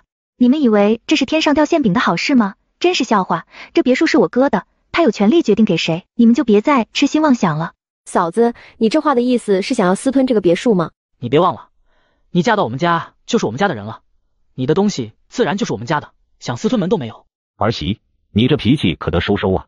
这别墅的事，你能不能别这么着急上火的？一家人有啥不能好好说的？就算你有你的想法，也得听听大家的意见吧。咱们都是为了这个家好，别弄得跟仇人似的，你说呢？我都不知道你们是怎么有脸说出这种话的。真是虚伪！你们不就是想要我哥哥给我的别墅吗？告诉你们想都别想，别以为我嫁到你家，我名下的房子就是你们的了吗？你们这算盘打错了。月月，你这是什么话？注意你的态度，我们可是你的公公婆婆，你怎么能这样说我们？你哥哥给你买的房子就是我们家的，你凭什么不给我们？俗话说嫁鸡随鸡，嫁狗随狗，你嫁给了我家，所以不论是你哥哥给你的房子，或者是车子，写上你的名字有什么用？到底还是我家的东西。嫂子。你还是面对现实吧。你既然嫁到了我家，就别想分得那么清楚。你的东西终归有我们家的一份。儿媳呀，我们这么做也是为你好啊。那别墅是你哥给你的，那么值钱。现在社会骗子多，你要是被人骗了怎么办？你这人啊，就是太单纯，不知道这世道的险恶，那些坏人专门盯着你这样的人下手。还有啊，我们是一家人，你得有点分寸。你哥给你的东西，那就是我们家的，你就照着我们做的做吧，把房子过户到我名下，大家都放心。是啊，嫂子，外面骗人的老多了，他们专门挑你这种有钱还傻的人骗。爸妈他们见多识广，不会那么容易被骗的。我真是谢谢你们了，在这里说是为我好，我就是这么一个傻的人吗？难道我走在大街上，别人就会知道我有一栋别墅，然后骗我吗？每个人都想要钱，都想把钱揣在自己的怀里。你们现在觉得住这里有点挤了，所以惦记上了我哥哥给我的房子。不管怎么样，这房子都是我的。你真觉得我这么傻吗？不知道你打的什么算盘？我的房子我会自己照看好，不需要你们装模作样的为我操心。哎呦喂，儿媳呀，你听我这老太太唠叨两句，我这把岁数还扯进房产的事里头，可不是贪心，纯粹是替咱这个家操心啊。我怕你们这些年轻人花钱没个计划，把咱们辛辛苦苦攒下的家当霍霍完了。你现在住的这屋檐下哪一块砖瓦不是大家伙共同努力撑起来的？再说你现在把房子过户到我和你公公名下，等我们老了，这房子还不是你们的吗？所以咱做事情得瞅远点，不能为了一时的私心就什么都不顾了呀。咱们过日子讲究的就是细水长流，凡事都要考虑长远，这道理你懂不懂啊？你真是把我当成三岁小孩来哄骗了。我虽然文化程度不高，但基本的常识还是有的。你又不是只有王强一个孩子，你还有你家小辉和小梅呢。等你走了，你确定这房子我还能得到吗？不要以为我不知道你们打的什么算盘，趁早死了这条心。你们要是这么贪得无厌，就立刻从这里搬走。不过你们要是懂点事，我的别墅以后欢迎你们偶尔过来住几天，其他的想都不要想。月月呀，我苦口婆心对你说这么多，你是一句都听不进去啊？说一千到一万。你嫁到我们家，你的东西就都是我的。我把话撂这了，你明天一上班就得麻溜儿把房子过户给我，不然的话你就等着难受去吧。哈哈，你这人真是坏透了，真是老巫婆露出了真面目。既然摊牌了，那就看看你到底有什么花招，别假惺惺的说是为了我好。我就喜欢你这种跟我凶巴巴说话的样子，够实在。你竟敢骂我巫婆，看我不撕烂你的嘴！你要是不把房子过户给我，我就让邻居们都知道，知道你不敬长辈，不孝公婆。看他们会不会抽你的脊梁骨，看你到时候还怎么见人！哈哈，你应该去申请个奥斯卡最佳演技奖，你这颠倒黑白的功夫可真是了不得。老婆子，你不要怕他，想说的话尽管说吧。你大儿子很快就回来了，大强先是你的儿子，然后才是他的老公，他肯定是要站我们这边的。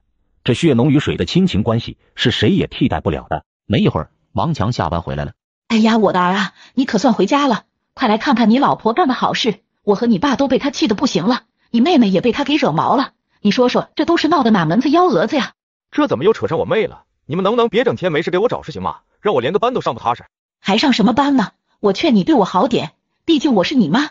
你那大舅子送你媳妇了一套市里的独栋别墅，重点是那房子居然写着你媳妇的名字。幸亏你弟发现了，及时告诉我们。为了咱家，大伙都劝他把房子改成我和你爸的名字。你这不听话的媳妇不仅不肯。还指责我们多管闲事，甚至还骂我和你爸贪财自私、天地良心。我们全是为了你好，他倒好胡搅蛮缠的，明显没把咱全家放在眼里。月月，我妈说的这些是真的吗？你哥啥时候给你买的房子？我怎么会不知道呢？是用我们的财产买的房子吗？为啥房产证上只有你一个人的名字？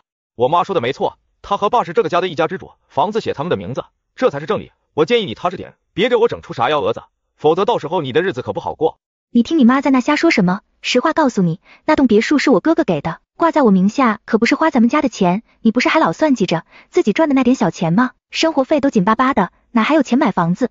月月，这事你怎么也不跟我说一声啊？咱俩是夫妻，有事的一起商量啊。再说了，那房子怎么着也算是咱们的共同财产吧？最好还是把我爸妈的名字也写上，这样大家都心安理得。我跟你说这是干嘛？这跟你有什么关系啊？我哥哥就是担心我过得不好，才给我个保障。房子写我名下理所应当，你爸妈凭什么来横插一脚？这事你真得告诉我啊！我们不是故意要插一脚，但咱俩是夫妻，房子这种大事当然得两个人一起商量着办。你要是担心写我爸妈的名字不妥，那至少加上我的名字啊，这样也算是咱们的共同财产了。快点吧，这事拖着也不是办法，趁现在还能办手续，咱们赶紧回去处理一下。你这脑袋是不是被门挤了？怎么尽想些不靠谱的事？这房子你一分钱没出，怎么就有脸提共同财产的事？你也真是敢想，你就是个纯粹的占便宜没够。一听说房子是我的，就急着往自己名下划拉，还想着分财产，真是让我大开眼界。我之所以没告诉你，就是看出你对钱有多渴望。咱俩是不是一家人？你心里没点数吗？我告诉你，要是将来真走到离婚那一步，这房子也是我的，你别想独。大强，你看看他对你啥态度？不仅骂你妹，还连我和你爸都骂上了。现在他又来骂你，这日子还怎么过呀？你得给他点厉害瞧瞧，不能让他这么欺负咱们家的人了。妈，您先别着急，媳妇现在有这房子，我暂时也不急着去动它。但您说的对，这房子怎么着也算是我们家的资产，不能就这么放着不管。怎么着也得先把我的名字加到房产证上去，这样心里才踏实，然后再慢慢想办法，看看怎么能让这房子真正成为我们家的。您放心，我会处理好的，这房子永远都是我们家的。说实话，我哥还帮我买了车呢，他对我真的挺好的。房子车子与你无关，更与你爸妈、你弟弟妹妹无关。你哥哥到底哪来的这么多钱啊？我记得上个月他还跟我提过贷款的事呢。说实话，我都没敢借给他钱，他怎么突然就这么有钱了？我怎么一点都不知道呢？不会是被地里藏着掖着吧？我哥有钱跟你有什么关系啊？这些钱都是他辛辛苦苦赚来的，我可不能让你们这吸血鬼一样的家人把我大哥挣的钱给败光了。你们要是真想过日子，就好好想想怎么一起努力，别整天惦记着别人的钱。咋不相关呢？现在你哥有钱了，你可以找他借点钱给我们装修房子，这样住起来也舒服点，我还能把外面的债给还了，这样的日子想想都美啊！你为啥就不愿意呢？我真是要被你的流氓逻辑给整笑了。今天我就告诉你真相，我已经跟我哥打过招呼了，他知道你是什么样的人，你休想从我哥那借到一分钱。我哥的钱都是他辛辛苦苦做工程赚来的，现在市场走势好，他赚了点钱，但要是大家都找他借钱，他那新项目还怎么做，怎么周转？我跟你说，你一分钱都别想从我这拿走。我哥遇到困难的时候，你帮不上忙，现在倒好，想过来分一杯羹，你也太无耻了吧！就想着白拿别人的钱。张月月，你这个女人真是心狠手辣，居然敢对我们有这样的念头，今天非得好好教训你一顿不可。这些年我真是白把她当家人看待了，真是瞎了眼。妈，我刚才不是跟你说过这事的重要性吗？你怎么又来了？你要是真把他惹毛了，到时候别说房子了，一分钱都别想拿到。咱们现在要做的就是先稳住他，哄着他，别让他再闹了。钱才是硬道理，咱们得想办法把钱拿到手里才是真的。对对，闺女你说的对，拿钱才是硬道理。月月，你别听你妈在那瞎嚷嚷，她就是嘴上厉害点，你别往心里去。你们夫妻有空的时候去你哥那一趟，赶紧把车买回家，这事就妥了。你说对吧？哈哈哈，别做梦了，我可没打算为你们做这些事。最后我得告诉你们一家子，我打算跟你大儿子离婚了。我算是受够你们了，今天我也算是看清了你们的真面目，对你们真是失望透顶。王强，明天咱们民政局见，把离婚协议签了。我可不想再见到你们了。月月，你这是在说什么呀？怎么突然就这么想了？夫妻之间有点矛盾很正常，哪能因为一点小事就离婚啊？你冷静点，别冲动。你想过没有？你都三十多岁了，一个离婚的女人，别人会怎么看？你是不是已经找好下家了？还是今天就是在故意闹这一出，想逼我离婚？我告诉你，我不离婚，我不想让我们的儿子成为单亲家庭的孩子，在外面受人白眼。你觉得这些事还重要吗？你看看我在你面前活得像个可怜虫，一点尊严都没有。当初跟你结婚，我没要房子，没要彩礼，后来大哥给我点钱买了房，还是写在你妈名下的，我都没说什么，毕竟咱们是一家人，我不计较。可你却把我的包容当成了软弱，越来越不把我放在眼里。我生儿子的时候，你整天在外面鬼混，你妈也不帮我带孩子，我还得自己做饭带娃，这些我都忍了。可你还在外面打牌，输钱了就瞒着我，拿家里的钱去填坑。我说你两句，你还对我动手，我对你真是失望透顶。我从来没有说过，那不代表我心里没意见。从那以后，我对你就再也没有期待了。现在你们一家子还联合起来算计我，想抢我的财产，真是太可恶了。老婆，我过去是犯过一些错，对你动手是我不对，我那时候也是气急了，但你也有不对的地方啊。咱们得互相体谅。结婚前我确实不够聪明，你也知道，买房子的钱我爸妈也出了一部分，所以房子才写在我妈名下的。他们也是怕我们年轻人乱花钱，把房子给败了。我平时工作压力大，偶尔出去放松一下，打打牌也是想缓解一下压力。我妈年纪大了，身体也不好，她也需要有自己的晚年生活。我打牌也是为了家里，想多赚点钱，让我们过上更好的生活。没想到越输越多，我只能偷偷拿钱去还债。我爸和我妹他们其实也是为了咱们这个家好，希望我们能一起努力，让生活变得更好。实话告诉你吧，我已经不生气了，因为无论我说什么，你总有你的理由，好像从头到尾都是我的错，连呼吸都是错。以后我不想再见到你了，明天我们就去办手续，以后各自安好，永不再见。你这个疯婆子，你到底在干什么？你对谁都这么狠吗？我们对你已经够好了，我们甚至没要求你给我们养老，你要离婚就离吧，但你得把房子过户给大强，还要一次性付清我孙子的抚养费，包括你爸和我以后的赡养费，只有这样我才同意你离婚。你怎么能提出这种要求？我真是听不下去了。你的脸比城墙还厚。算了，我也不想跟你这个老巫婆争了。我会提起诉讼，我哥哥会帮我处理这件事。你们这些人，我哥给我的别墅，你们想都别想。月月，对不起，我以前做的不好，今天的事情也是我冲动，说了些不该说的话。我并不是真的想要那个别墅，我只是一时被我爸妈迷惑了思想。你还记得我们以前的美好时光吗？你想想我们的儿子，如果离婚了，他会受到多大的伤害啊！从今天开始，我们搬出去住，不再和父母住在一起，就我们三口之家，没人再打扰我们。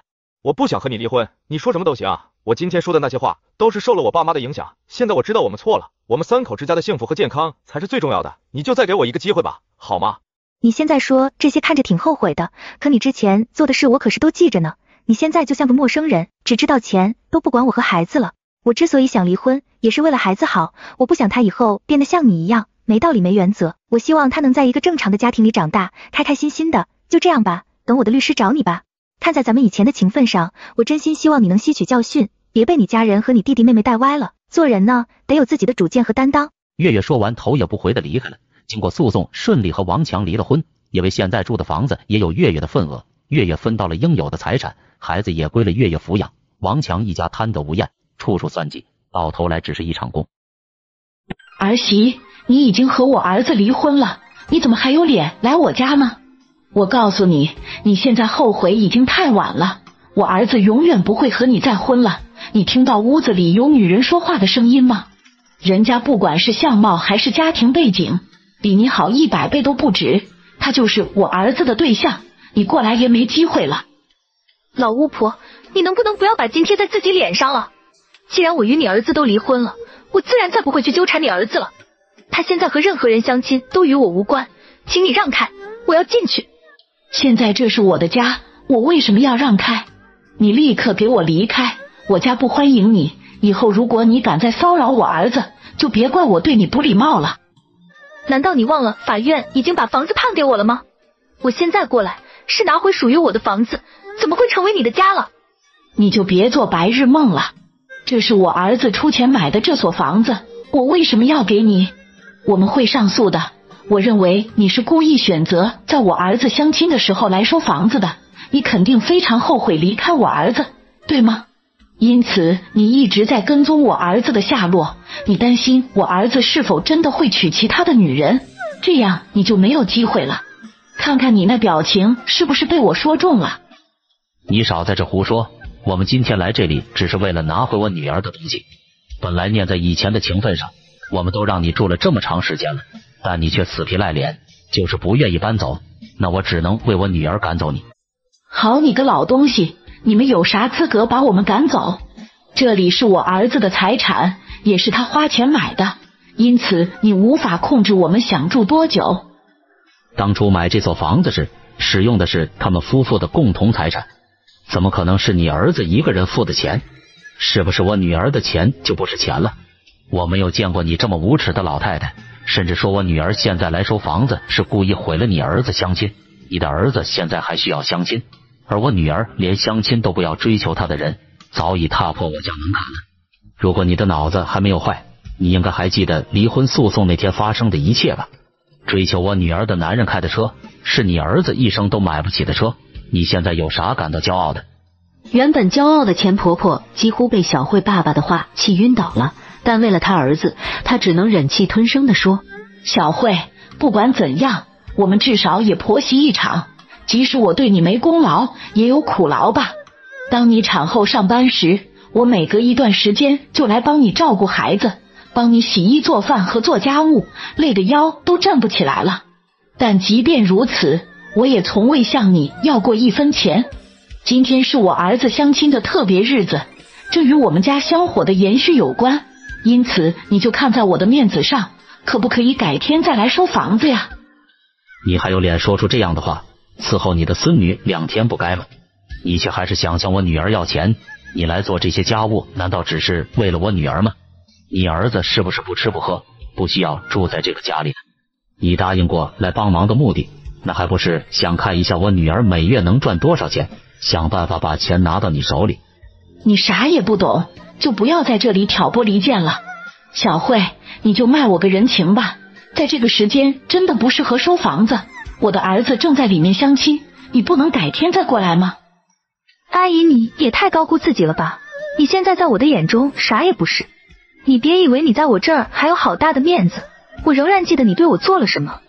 记得有一次，我的孩子生病了，你说是由于我玩手机没有照顾好孩子，才让孩子生了病，所以你去找你的儿子抱怨，说你必须要给我一些教训。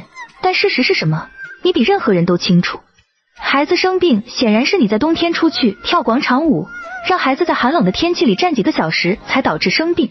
你一次又一次的触摸我的底线，但现在你想让我给你足够的面子，你觉得你配得上吗？你这个女人也太现实了！你才与我儿子离婚多久，你就改名叫我阿姨了，真的是没有一点人情味啊！你现在赚了一些臭钱，你就觉得你很了不起了，是吗？至少我也是你的前婆婆，你去拒绝给我面子。多亏我在亲戚朋友面前为你说好话，把你们所有的离婚责任都推给了我儿子。但你就是这样报答我的吗？我们俩离婚本来就是他的责任，如果他没有背叛我，我们就不会走到这一步。我知道你卖惨的能力，你只是想假装可怜，好得到我的同情。但是每个人都知道你是什么样的人，只有你认为你演的很完美。我真的懒得和你胡说八道。现在你赶紧把你所有的东西都搬出去。假如你坚持不肯走，那就不要怪我们自己动手了。到时候不要怪我乱扔你的东西。我跟你好话坏话说尽了，你为什么油盐不进呢？我们不是说不想把房子还给你，但今天的确不便，你能改天再来吗？你们不方便和我有啥关系？你没有我的允许就住在我家，这叫侵占别人的财产，你明白吗？是要承担法律责任的。你少吓唬人，我老太太是不会被你吓到。我觉得你就是看不惯我儿子，有人想要了就故意来捣乱。假如你后悔了，你就直截了当的说出来，也许我儿子会看你一个月有几万元的工资的份上，再一次会考虑你。我也可以为你说两句好话。小慧见跟前婆婆说不通，就对房间里的大伟大喊道：“大伟，你到底还要躲到啥时候？你应该知道法院是如何判的。今天居然还继续赖在我的房子里，不愿意走，到底咋回事？如果你是个男人，就赶紧出来解决事情。你让你妈妈和我耍无赖有趣吗？你真想被外人看笑话吗？你这个疯女人想干什么？你这么大喊大叫！”是否想把邻居都喊出来？你可以告诉我任何事，我可以代表我儿子，用不着他出来。如果今天因为你让我儿子的相亲的事情失败了，我永远不会轻易放过你，我一定会和你拼命，信不信由你。老太婆，你如此紧张干嘛？你是不是没有告诉相亲的对象，这所房子不属于你家了？你胡说八道什么？人家女孩子就是爱上了我的儿子。不像你的女儿瞎了眼睛，如此好的男人不懂得珍惜，还迟早会后悔的。虽然房间里的女孩听到了外面的声音，但她听不到声音的内容。她怀疑的质问大伟：“你家门口好像有好多人在吵架呢，我们也出去看看吧。”不必了，外面那个是我妹妹，我从小就把所有的好东西都给了她，她甚至不会放过这所房子，因为此事我们吵了很多年了。今天又过来找我，多亏了我妈妈，她一直是我们之间的调解人。但我可以向你保证，一旦我们结了婚，我会在第一时间把房子转让给你。到时候不管他怎么吵都没有用。大伟，难道你不担心我骗你吗？这所房子现在很值钱，至少可以卖二百万元。难道你就这么放心把它转让给我吗？当然了。那还用说吗？既然我要娶你回家，那就意味着我百分之一百相信你。只是不知道你能不能给我这个机会。除了你妹妹这件事，我才知道，别的事情你妈妈已经告诉我了。你很符合我的择偶标准，你不仅有车有房，还从来没有结过婚，而且还有一个好的工作，所以我没有理由拒绝。请放心吧，我不会辜负你对我的信任。就在大伟安顿相亲对象的时候，此时外面的争吵声更大了。小慧。我告诉你，只要我今天还有一口气在，你就别想闯进去。这是我家，你这是私闯民宅，我可以报警逮捕你。好啊，要不要我帮你报警？刚好让帽子叔叔看一下到底是谁私闯民宅。俗话说，人要一张脸，树要一张皮。这是属于我女儿的房子，她什么时候成为你家的房子了？快点把它让给我，不要在这里耍流氓了。我偏不走，你能做什么？自从我们买了这所房子，我们就一直住在这里了。我们对这所房子有着深厚的感情，所以我们永远不会离开，更不用说搬走。好，你这个老巫婆不要太过分了。如果你不让开，我就砸门了。女儿和这种不讲道理的人浪费口舌，等于在对牛弹琴。还是你先进去，让我来对付这个老巫婆吧。在父亲的帮助下，小慧成功的摆脱了钱婆婆。大伟，不要以为你躲在房间里不出声就好了。我们已经离婚这么长时间了，你和你妈干嘛还一直留在我家？拒绝离开？你想住到什么时候才肯离开？闭上你的臭嘴巴！你是否还觉得害得我不够惨呀？在这个时候你要来捣乱？大大伟，这究竟是咋回事？你不是说你没有结过婚吗？为什么突然出现了前妻？还有他说你住在他的房子里，这所房子不是你全额买的吗？小婷，你听我说，她只不过是我妹妹而已，事情并不是你想的那样。姑娘，你不要被他骗了，他纯粹是个渣男，而且还是已婚人士，在上个月刚和我离婚，现在还死皮赖脸的住在我房子里不走。我今天是过来要房子的。你这个渣男，你已经结婚了，干嘛还要和我相亲？这样玩弄我的感情有趣吗？小婷。事情并不是你想的那样，我和这个女人根本就没有关系，我也是真诚的要娶你，你不要相信她胡说八道。哈哈，至少我也是你的前妻吧？我站在你面前，你还敢说这样的话？你的脸真厚啊！小慧，你能闭上你的臭嘴吗？难道你没有看见我女朋友在这吗？如果你有什么事，下次我们可以再谈。我知道你想要这所房子，但你不能这样破坏我和女朋友的感情。现在，请你离开好吗？这是属于我的房子。我干嘛要离开？你和你妈没有告诉这个女孩真相吧？但是你们母子俩说话从来都不眨眼睛。不幸的是，如此好的女孩竟然会被你给骗了。大伟，他说的是真的吗？你是个离婚的男人，你刚才所说的话都是骗我的是吗？你只是想在房子收回之前把我骗到手，即使我将来知道了真相，我也不敢跟你离婚，是吗？你真的很可怕。亲爱的，别请我妹妹在这里胡说，她只不过是嫉妒我过得比她好。想霸占我们的房子，因此他才故意这么说的。正是因为他，我才找不到老婆。我恨他。刚刚我都向你解释了，你要相信我，我对你绝对是真诚的。你真敢睁着眼睛说闲话？请问我什么时候从你的前妻变成妹妹了？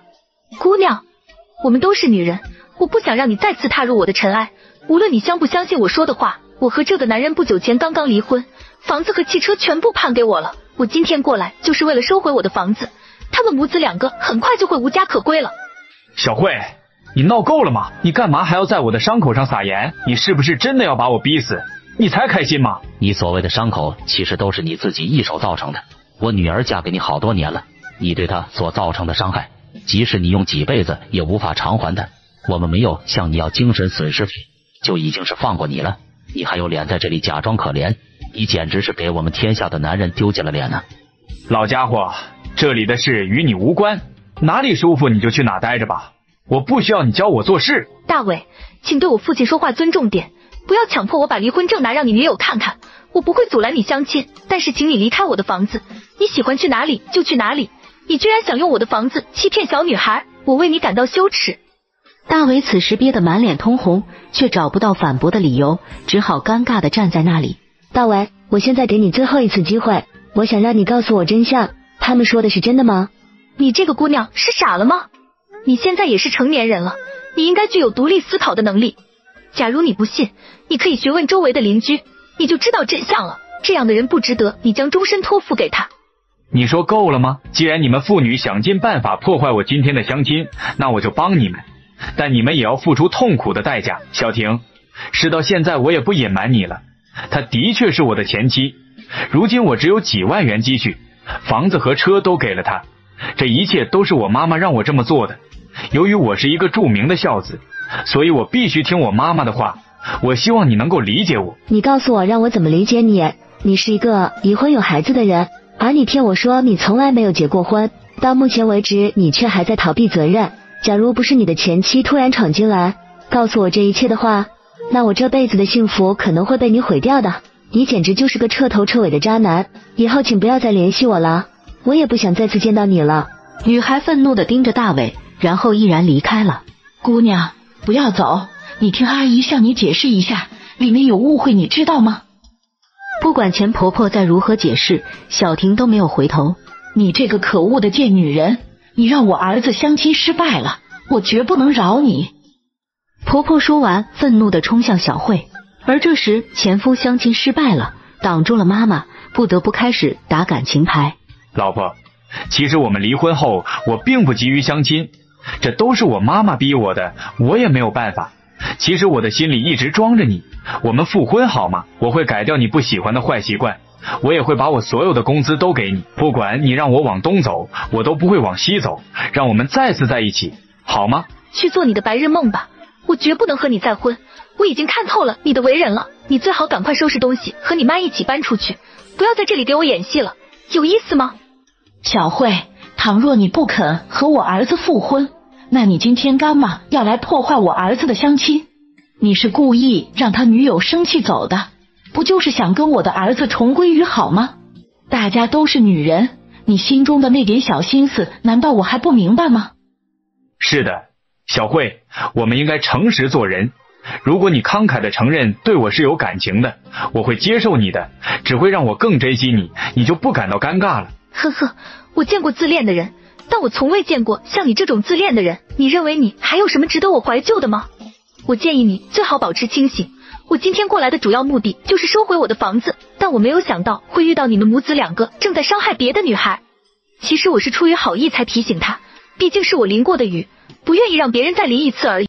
我还不明白你吗？我不相信，你一定是在骗我，对吧？我不信你会这么无情，至少我们也夫妻一场，我还不了解你吗？追我女儿的李总比你强多了，为什么你会认为我女儿会放弃他而选择和你再婚？是凭你的花心，还是凭你家暴的能力呢？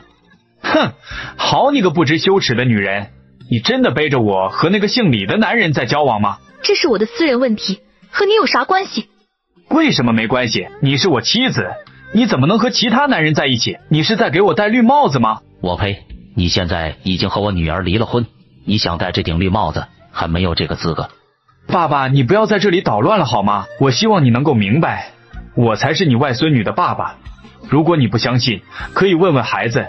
他一定希望我和小慧再婚，只有我和你的女儿在一起，孩子才能有一个完整的家。你不能帮我说服一下小慧吗？俗话说宁拆十座庙，不毁一桩婚。你也是长辈，难道你不明白这个道理吗？你不要叫我爸爸。假如我儿子和你一样，我早就和他断绝父子关系了。像你这样的人，你为什么认为我会支持你们继续生活在一起呢？大伟看到前妻和前岳父的态度如此强硬，于是又把主意打到了前岳母的身上。妈妈，难道你忘了我们之间的协议吗？只要你答应我和小慧这次再婚，我们之前的协议还是有效的。别叫我妈妈，你之前对我的承诺都是骗我的。如今我女儿的追求者是一个大老板，人家分分钟都能做到你答应我的事情，因为他是你几辈子都赶不上的人。以前我认为我女儿离婚之后带着孩子就不能结婚了，但万万没想到直接送上门来个金龟婿。看来人还是需要行善，不像一些失去天良的人一样，最终只会落得妻离子散、身无分文的结局。你居然用这么又脏又恶毒的话说我儿子，看我不撕烂你的嘴！钱婆婆说完后就要冲上去动手，却被她儿子拦住了。你一定要这么无情吗？难道真的一点也不念我们之前的旧情吗？在你的眼里，我们家都是无情之人，只有你们母子两个有情。是不是你们一起欺负我女儿就有情亦有义吗？你有情还没有离婚之前就去找其他的女人了？你有情，你能拿孩子当筹码来威胁我女儿？这就是你所说的人道吗？你不感到非常讽刺人吗？你少在这阴阳怪气的说这些话！你别以为你女儿能够好到哪里去啊！在这段婚姻当中，他根本不坦诚。他很明显工资很高，却一直拒绝拿出来。直到他们离婚那天，我儿子才知道了事情真相。如果没有他整天忙于工作，对我的儿子不冷也不热，那我儿子也不会这样做。其实这一切都是你女儿造成的，你却把责任全部归咎于我儿子。你不仅把房子和车全部都拿走了。而且还让我的儿子净身出户，你们简直是吃人不吐骨头的恶魔！好你个老巫婆，你真的敢说我努作挣钱不是为了这个家吗？你儿子的本性就是这样，现在的结局也是，他是活该。我们结婚这么多年来，他根本没有做丈夫的样子。记得有一次我累得咳嗽吐血，但你儿子说我只不过是上火了，不但没有陪我去医院，也不拿我钱去看医生，这些都不说了，但是他还不让我去医院做检查。他反而还指责我虚伪，在家里乱花钱，让我告诉你真相吧。从那以后，我已经完全放弃了他，这么多年来他从来不关心我，而且态度也非常冷淡。本来我想告诉他我的收入，毕竟我们还是要生活在一起一辈子的。但是在我开口之前，我已经收到了他和那个女人在一块的视频，当时顿时让我的心直接沉入谷底。从那一刻开始，我就决定离婚。但那时我绝对不能和他说出实话，否则这段婚姻就很难离开了。我想你只是想一个人享受幸福，因此你才故意抓住我的证据。早知道你是这种心机这么重的女人，我就不该娶你回来。如今我已经被你害得够惨了，你今天必须赔偿我的精神损失。以后你收入的一半一定要交给我，这样我就不在乎你了。女儿，不要再和这样的人胡说八道了。他永远都不会意识到他的错误，他总是觉得这所有一切都是别人的问题。为什么他不想一下他所做的那些见不得人的事？他除了整天吃喝玩乐，他还能做点什么？你千万不要相信他的鬼话。爸爸，你放心，我不能再次被他的花言巧语欺骗的。大伟，你是自己搬你的东西，还是让我帮你扔出去呢？就在这时，前夫突然扑通一声跪下了，但小慧父亲还是把他们母子两个人赶了出去。大伟和母亲只能租了一个地下室居住，肠子都悔气。哥，嫂子为什么不接我电话呀？我打了好几个电话都不接，最后她竟然关机，她什么意思啊？是不是想跟我翻脸啊？说好了我们轮流照顾妈？现在到你们家照顾了，假装忘记时间。我告诉你，哥，不管嫂子有多么不愿意，你们也得赡养妈，毕竟我是出嫁的女儿，一直让妈住在我这里。我婆家人意见也很大的，而且我自己还要出去上班，我可没有那么多时间照顾妈。反正话我也已经说到这里了，你和嫂子明天一早就过来接妈走吧。大强啊！我的好儿子，我在这里两个月不见你，我好想你呀！我住在你小妹这里，特别的不自在。她婆家人讲的客家话我都听不懂，没人陪我说话，我抑郁症都快犯了。小外孙也不喜欢亲近我，我还是喜欢跟你一起住。明天就轮到你家照顾我了，到时候可别忘了过来接我呀！早上起床后就来呀！别着急，你嫂子估计在开会，这是我不会忘的。我知道让你照顾妈你辛苦了，以后我自己赡养妈，不会让你增添烦恼的。只要你有时间，你就回来多陪陪妈就行了。妈，你就放心吧。之前我就跟小妹已经商量好了，我们两家轮流照顾你两个月。明天我和小美一起过去接你，你在小妹家等我们就行了。那就好，我一直在担心你忘记了，害怕你不来接我。人老了，最期盼自己的孩子在自己的身边。儿子，妈还有一件事想跟你说一下，就是不知道你愿不愿意答应。说出来怕你为难，不说嘛，我心里又不舒服。妈，你这是什么话啊？我是你的儿子，不是别人。有什么事你就直接说吧，我肯定会答应你的。不管你提出什么要求，我都会满足你的。父母恩情大于天，孝顺父母就是最大的福报。懂得孝顺父母的人，运气一定不会差的。因为福报不是求来的，而是修来的。孝敬父母就是修我们的德，增长我们的福报。妈，我会好好给你尽孝的。儿子啊，有你这些话，我就不算白养你了。只要有你在，我死而无憾了。我是这么想的。这次去你家以后，我就不住你小妹家了。妈现在年纪大了，腿脚也不方便，这样折腾我也有点吃不消。反正你的房子够大，两个孩子也都上学了。平时住在学校，很少回来。这样我住在你们家，你们上班，我还能帮你们看家。你看这样行吗？好的，妈没问题。你说的这些我都理解。反正孩子们也不在家，没人打扰你，你也可以好好休息。你想在我家住多久就住多久，只要你高兴，我们怎么都行。只是晚上回去，我得跟我老婆商量一下，看看她是怎样的想法。毕竟我们是夫妻，有些事情还是要商量过后才能做决定的。这么害怕你老婆吗？我是你亲妈，你接亲妈回家还得问一个外人啊，你用得着跟她商量吗？他算个什么东西？别忘了，这个家还轮不到他来说三道四。你才是一家之主，决定权在于你，而不是他。我还以为你有长进了呢，还是一个样，一个女人而已，能成什么大事？以后有什么事你自己拿主意，别再过问他。你可是顶天立地的大丈夫，扭扭捏捏、优柔寡断的像什么样子？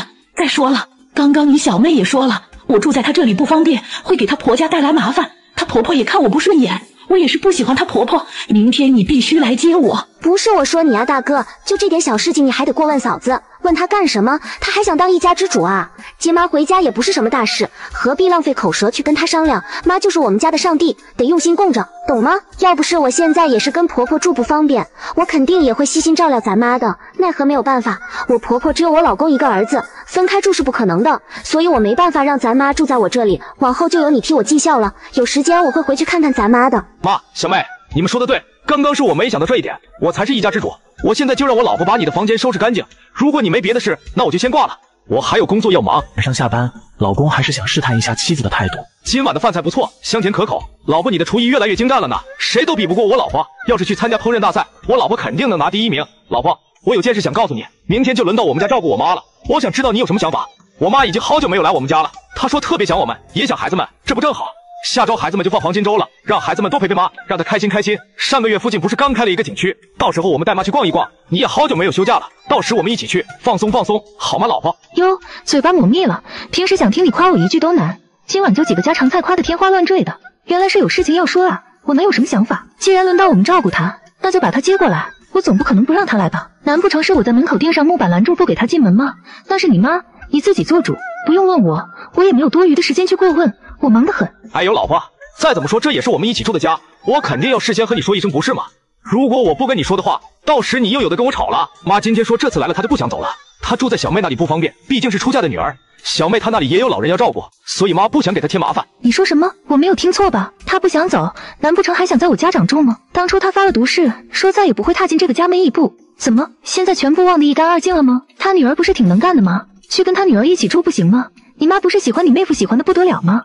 到处炫耀你妹夫生意做得如何如何。既然生意这么好，怎么不见你妹夫买套房子给你妈养老啊？就只会吹牛逼，打脸充胖子。刚刚我不是说了吗？毕竟小妹家还有老人要照顾，妹夫再怎么能赚钱，他也不可能拿钱出来给我妈。别生气了，你也知道我妈现在年纪大的，腿脚不方便。你看我们家也挺大的，你就同意让她过来吧，咱们一起好好孝顺她老人家。落叶归根，人老了都要回到自己的孩子身边的，过去的事情就不要再提了，都放下吧。每个人都要往前走。小美清楚老公的德行，说的这些话也只是象征性的，跟他商量一下，就算自己不同意，大强也会把母亲接到家里来，索性他就答应了下来。你的事情你自己做主，随便你吧，反正我说了也是白说，你想怎样就怎样吧，我过好我自己的生活就行了。不过我有个硬性要求，你妈来我们这里住，必须要去厕所解手，不能像以前一样拿个盆在房间解决。要是她不改过来的话，那就不要怪我不近人情了。还没瘫痪呢，就在房间里解决大小便了。恶不恶心？哎呀，那都多少年前的事情了。那时候我妈不是腿脚不方便吗？站起来都有问题，只能在房间里解决大小便了。谁没有生病的时候？大家理解一下就行了，是不是？现在她的腿脚虽说没有完全好，但也能走路，能自理，不会再像以前那样做了。你放心好了，老婆，那我就当你答应了。没想到你今天这么爽快，真是太好了。等我妈过来了，那谁来照顾她？我妈那么大岁数了，家里得有人在家照顾她，万一出事就不好了。你说是吧？你说这话是什么意思？你妈需要人照顾？你跟我说做什么？那是你妈，你自己想办法。实在不行，你就去请个保姆照顾她呀。专业的保姆照顾的好，面面俱到，这样大家都省心，也减少了大家之间的矛盾，何乐而不为？只要你肯出钱，什么问题都不是问题了。请保姆不用钱吗？保姆是外人，哪里有自己家人照顾的用心？现在很多新闻都爆料出保姆的一些不好作为，偷钱的，打老人的。请保姆照顾我妈，我还不放心呢。那是我妈，也是你的婆婆，她怎么跟你就没关系了呢？反正照顾我妈的事就拜托你了。再说了，你作为我妈的儿媳妇。照顾她也是你分内的事，难道这点道理你都不懂吗？你嫁给我了，就是这个家的一份子，理应出一份力。并不是所有的保姆都是坏人，你不想出钱就直说，你就是想榨干我的劳动力。我嫁给你是要和你组成一个新家庭，不是我嫁来给你家当牛做马的。大强，你别蹬鼻子上脸，我能同意让你妈过来住就已经很给你们面子了。你脑子背门夹了吗？还想让我去照顾你妈？我看你是癞蛤蟆，想吃天鹅肉，长得丑想的却很美，这件事不可能，你就死了这条心吧。你连我妈都不愿意照顾，那我娶你回来做什么？你以为你是千金大小姐？我真没想到你竟然连自己的婆婆都不肯照顾。你这种人真是一点孝心都没有。你走出去就不怕被街坊邻居说闲话吗？这事要是传出去，我可丢不起这个人。嫁鸡随鸡，嫁狗随狗。嫁给我你就要听我的，我让你往东你就不能往西，懂吗？你睁开眼睛看看，我是个有血有肉的人，不是你随便玩弄的玩偶机器人。凭什么听你的？我是嫁给你了，但不是来给你当奴隶的。你要搞清楚，她是你妈，又不是我妈。你自己都不愿意照顾你妈。你还想指望我？反正我是没有义务照顾他。这事要是传出去，被人笑话的人是你才对。我是独立的个体，不要试图用任何角色压迫我。得不到真诚相待，任何关系对我而言，任何人都可以丢掉。除了我愿意，没人能左右我。小美，我告诉你，你再犟，后果你肯定承受不起。现在孩子都上学了，平时他们都没怎么回来，你就辞职在家好好照顾我妈，这样你也不用上班受累，多好的差事！照顾孩子和老人本来就是一件享福的事情啊，你怎么就是想不通呢？在家就是做个饭，洗个衣服。完事了，你该看电视就看电视，该逛街就逛街，又不用面对可恶的领导和勾心斗角的同事，不舒舒服吗？舒服，你自己回家照顾你妈呀！你嘴上没个把门，说话就像放屁一样，不受自己的控制呢。照你这么说，孩子一生下来就会走路上学一样？别忘了，那都是我没日没夜拉扯大的。在我最需要人帮助的时候，你妈又是怎么做的？你妈说有本事生就得有本事养，没本事养就憋着别生。你自己说她这说的是人话吗？我生出来的孩子她不重视不喜爱，你小妹刚怀孕她就屁颠屁颠的去你小妹家住了。说是怕你小妹怀孕吃不下，要照顾她，生了之后更加卖力，孩子抱在手上不舍得放下，腿脚不方便，每天都帮你小妹的孩子洗衣服、上下楼丢垃圾。所以不是他真的行动不便，是他不愿意为我、为他的亲孙儿付出。只有他女儿生出来的他才喜欢，毕竟我是一个外人嘛。这么久的事情了，你还要翻来翻去说？你不烦我都烦了。我妹身体不好，我妈肯定多关心她一点了。她怀孕的时候害喜严重，哪个妈不心疼自己女儿的？那时候你不就是在家带带孩子吗？又不用去上班，带个孩子能有多辛苦？你这也太矫情了吧！再说了，我妈把我们兄妹几个拉扯大也不容易，你至于为了这点小事就这样斤斤计较吗？她要带孩子，你又嫌弃她不会带，你到底想要怎样啊？我看你是没事找事。行了，我肯定是比不了你妈的亲生女儿，再多说也没有用。你别跟我提你妈以前怎么样了，你睁眼看看，我身边的朋友和同学，哪个不比我过得好？嫁给你这么多年，除了孩子是我的，其他的我什么都没得到。你们还成天看我不顺眼，不喜欢我的人多了。你们算老几？我活着又不是为了取悦你，一眼不看看你算个什么东西？我就喜欢你看不惯我，又干不掉我的样子，看不惯也得憋着。你现在是嫌弃我给你的不够好吗？你不喜欢可以走，哪里有富二代你就去找，我不拦着你。一说到我妈就叭叭叭说不停，有什么那么多事情抱怨的？你说够了没有？咱们能不能不翻旧账？都过去这么久了，你老是说这些有什么意义？你看我们的孩子都这么大了，你老是揪着这些鸡毛蒜皮的小事干什么？你就不能大度一点吗？算了，我不想在这跟你磨嘴皮子，你尽快辞职，然后在家伺候我妈。如果你不愿意的话，那就把你的工资卡给我，我用这些钱去请个保姆回来照顾我妈。我凭什么出钱给你妈请保姆？还有，想让我辞职照顾你妈，那是绝对不可能的。我就实话跟你说吧，以前你妈是怎么对我的，现在我就怎么对她。自从嫁给了你，你妈就一直看我不顺眼。天天给我脸色看，咱们结婚还没两个月，你妈就盯着我的肚子看。那时候我还没打算那么早要孩子，想好好过一下二人世界。可你妈逢人就说我是一个不会下蛋的老母鸡，你听听这说的是人话吗？这件事你不会忘了吧？当时你就在旁边站在那里一言不发，你觉得自己是一个合格的丈夫吗？有些人这辈子都不会原谅，也没办法去原谅，只有恨，恨之入骨。都说时间可以治愈一切，都是骗人的。原来你一直在恨我妈，结婚了不生孩子，老人着急有什么不对的？你想让我说什么？我觉得我妈说的没错，你都结婚了，为什么总是替自己想？你应该为我们着想才对。我妈那时候天天盼着抱大孙子，可你呢？你一直拖着不肯要孩子，害我都没脸出去见人。那时间我出门都害怕邻居打招呼，怕他们问我为什么不生孩子的事情，走到哪儿都感觉别人在我的背后窃窃私语。那你为什么不说实话？为什么要让他们误会我？你是我的丈夫，你为什么不站在我这一边？大强，你们这一家人的嘴脸真的让人恶心。我还傻乎乎的以为你对我好是出于爱我，真没想到你的心机这么深呐。再后来，我不是也给你们家生了一个大胖小子？我想这下你们应该满意了吧？可没想到你妈还是看我不顺眼，处处针对我，刁难我。那时小孩子还小，五官还没长开，当然看不出长得像谁。身边总有些人把造谣当做了毕生乐趣，丝毫没有觉察到自身的不光彩。有时候你什么也没做，但在别人嘴里却显得如此不堪，流言蜚语四面八方扑面而来。可怕的是那些不明真相、散播谣言的人。我总以为清者自清，却忘了人言可畏，谣言止于智者，止于不了智障。生在外有好有坏，何须多言？辱人者皆是自辱，自重者必受人尊重。毁人名誉只会让自己沦丧，脚踏实地才是对自己最好。人在做天在看，他会遭到报应的，迟早而已。我妈怎么刁难你了？她平时就那样，是你心胸狭窄，一点点事情就怀恨在心。你也好意思说你是给我们家生了的儿子？但是比我晚结婚的堂弟，他的孩子都能打酱油了。你说我妈能不生你的气吗？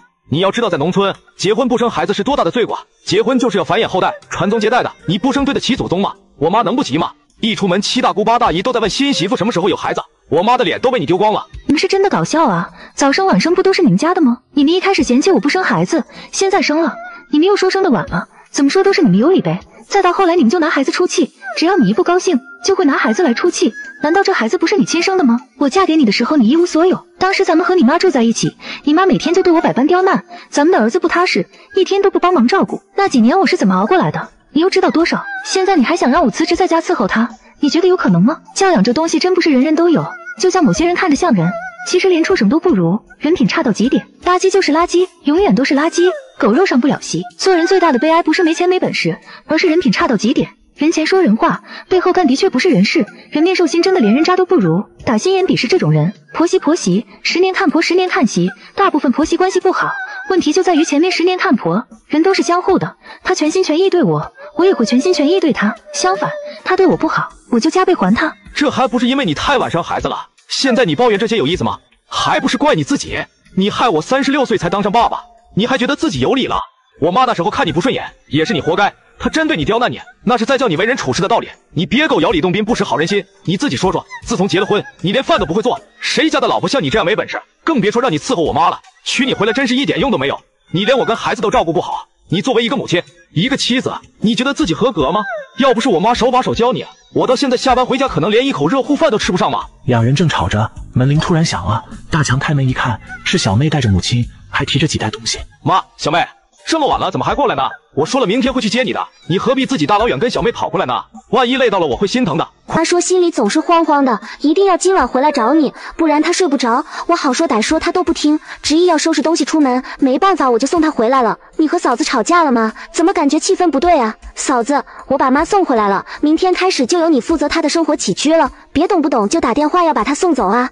我自己还自顾不暇呢。再说了，你和大哥才是妈的赡养人，跟我可没关系。那是你们的妈，管我什么事啊？她没手没脚吗？凭什么要我负责她的生活起居？又不是断手断脚的残疾人。你作为你妈的女儿都想撒手不管，更何况是我这个跟她毫无血缘关系的外人。还有大强，我回答你刚才的话，既然你妈这么好，那你干脆跟你妈过一辈子不就行了吗？你为什么还要娶老婆？我嫁到你们这样的家庭，真是到了八辈子霉。儿媳妇最难的时候，你没有伸把手去帮帮她，这样就很危险。你们之间没有生育之恩，更没有帮扶之情，对儿媳妇来说，你就是一个陌生人，根本不用谈孝道。你没有生人家，没有养人家，没有帮人家，凭什么让人家给你养老？我就是一个记仇的人，永远也不会原谅伤害过我的人。就算他们死了，我也不能忘记一辈子的伤。你给我住口！你怎么说话呢？我告诉你，你别太过分了。你要是再说这种话，别怪我对你不客气。你就是三天不打上房揭瓦，不打你就不长记性，油盐不进软硬不吃的女人，我就不该娶你。我呸！你看这个家被你搅得乌烟瘴气。小美，你你是想要气死我呀？没想到从你嘴里说出这种话，你可真歹毒。要不是我现在没有力气，我早就冲上去呼呼扇你几巴掌了。没教养的东西，谁叫你这么对待婆婆的？你嫁到这个家来就得伺候我。古今中外，哪个女人嫁人了不得伺候公公婆婆？这就是你的宿命。要是在古时候，你不知道被打死多少回了。不仅顶撞我，还看不起自己的老公。我看你是活腻了。你们以为这样说就能吓唬住我吗？你不会还以为我现在什么都不懂吗？别把别人都当傻子了。这么多年，我为了能给孩子一个完整的家，一次又一次的给你机会，我什么都不愿意说，总以为你会明白我的良苦用心。可是结果呢？你不仅没有改，现在还变本加厉。当初那么艰难的日子我都熬过来了，现在你觉得我还能怕你不成？今天我倒是想看看你能把我怎么样。忍无可忍，无需再忍。君子做人坦荡荡，小人做人玩阴谋。不是不报，时候未到。天道有轮回，苍天饶过谁？恶到尽头终有报。既往不咎这个词太虚伪了，我不大度。我喜欢风水轮流转，往死里转。我看你是长能耐了吧？我最后说一遍，你最好按我的意思去办。你要是再敢跟我顶嘴，那我就跟你离婚。孩子和房子你一样都别想得到，我会让你一无所有。不信你就试试。你还能不能要点脸？这房子是结婚前我父母给我买的，房本上写的也是我一个人的名字。这房子跟你有什么关系？你有什么资格让我滚出去？至于孩子，你之前是怎么对他的？难道你都忘了吗？你配做一个父亲吗？再说了，孩子都已经长大了，能独立思考了，他不会选择跟你的，你就别再痴心妄想了。以前你经常打骂他们，孩子从早就不喜欢你，他们巴不得让我跟你离婚了。我是为了给孩子一个完整的家才忍你到现在，可你不但没有改变，反而越来越过分了。你真觉得你在这个家就可以一手遮天了吗？其实我早就该跟你离婚了，不应该拖到现在，不然孩子也不会有那么大的心理阴影。大强，离婚必须跟这个女人离婚，要反了她，这个房子也有大强的一半，孩子是我们家的，你这个女人也休想带走。女子的三从四德，她没有遵守。一个女人嚣张跋扈，骂老公、骂婆婆、骂小姑子，有谁家的媳妇像她这样的？离了婚，大强，你再找一个听话的，敢跟我对抗，简直就是不得好死。原来你早就计算好了，你这女人真是太可恨了。你不想跟我过，还把孩子教的跟你一样无情无义，连我这个父亲都可以不要了。我说你心里到底是怎么想的？我不就是让你辞职在家伺候我妈？你至于跟个怨妇一样唠叨个没完吗？你别忘了，那可是你的婆婆，我的妈也是你的妈。你计较那么多做什么？不管我妈以前再怎么不好，可她是个老人，你睁只眼闭只眼就当这些事情没有发生过不就行了吗？为什么非要揪出来说呢？说句不好听的，我妈还能活几年啊？她只想和我们在一起好好的度过晚年，你偏偏要闹这一出，你就不能原谅她吗？我妈都这么大年纪了，现在又瘫痪在床，什么都做不了，已经够可怜的了。可就算这样，你为什么还是不肯放过她呢？你这么做还有良心吗？呵呵，他老了，我就要去伺候他吗？早干嘛去了？这就叫自作孽不可活，怨不得别人胡说八道。我没有那样恶毒的婆婆，这么多年她是怎么对我的，我还历历在目。她就连自己的亲孙子都不放过，成天拿孩子出气。我妈可不像你妈那样，她才不舍得打孩子。我妈非常疼爱她的这个外孙，而你妈呢？她什么时候帮过我一把？她不找我麻烦，我就谢天谢地了。在我困难的时候，她袖手旁观，冷眼相待。现在她有事了，倒是想起我来了。当初哪怕他对我稍微好一些，现在我也不会不管他的。俗话说得好，十年前看婆，十年后看媳。现在这种局面都是他一手造成的。你不知道我曾经受到怎样的伤害，我曾经又怎样在这样的伤痛里站起来。你不能劝我大度，不能告诉我要学会原谅。高度不够，看到的都是问题，格局太小，纠结的都是鸡毛蒜皮。你就是目光短浅、心胸狭窄的人。我妈什么时候成了一个十恶不赦的人？我告诉你，你别在这里诬陷我妈了。不管她以前做了些什么，她始终是你的婆婆。她老了，你就要伺候她。你这么不孝顺长辈，难道都是你父母教的吗？对婆婆不好的儿媳，必然没有好下场。你就等着吧。行，你格局大，我格局小，等着就等着。人在做天在看，老天知道谁是恶人，谁是好人。我不想跟你废话了。在你眼里，你妈做什么都是对的。既然这样，你以后就好好和你妈过日子吧。咱们明天就去民政局把手续办了吧。我现在一天都不想跟你过了。离婚之后谁也不欠谁的，我一身轻松，逍遥自在。好，很好，小美，你可不要后悔。你为了你自己让儿子变成单亲家庭的孩子，我就没见过你这么自私自利的人。你心里只有你自己，没想过我和孩子们的感受。你要是敢离婚，我抄你全家，让你娘家不得安宁。我还真不怕，就你这怂样，你敢抄我全家，你就是那个自私自利的人。我不跟你离婚，难道还要让孩子在这个家里每天遭受你的打骂吗？像你这样的人就不配做一个父亲，孩子们也不想要这样的父亲。小美，我劝你还是认清现实。你觉得我会让你如愿以偿吗？我告诉你，孩子和房子我都要定了，你就等着后悔吧。我要让你哭着跪下来求我原谅。可以，你尽管放马过来，咱们就走着瞧。我自己都不爽，还要装模作样顾及别人的感受，给你笑脸多了，惯得你全身都是病，包括你妈。时间识人，落难识心，经历一世看清人看透心。离开你，我过得更好。几天后，两个人正式离了婚。房子本来就是小美的婚前财产，大强只能净身出户。最后，儿子也选择跟着母亲一起生活。婆婆知道儿媳妇出差，一大早就去了大儿子家。妈，你怎么这么早就过来了？我还想着去接你呢。老大，我听说你媳妇出差了。小星出差了，过几天再回来。你有事找她？我才不找她呢，她不在就好。对了，我给你说吧，我和你爸相中了城里的一套精品房，我们老两口想搬过去住，也想住住大楼房。妈，这挺好的，年纪大了也该享福了，我支持你们。房子是不错，装修的也挺好的。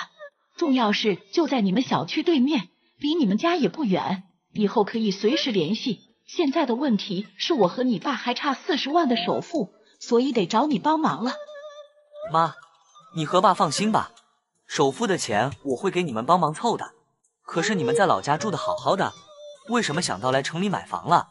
应该还会有其他原因吧？没有什么原因，就是我和你爸年纪大了，想感受一下城市里生活。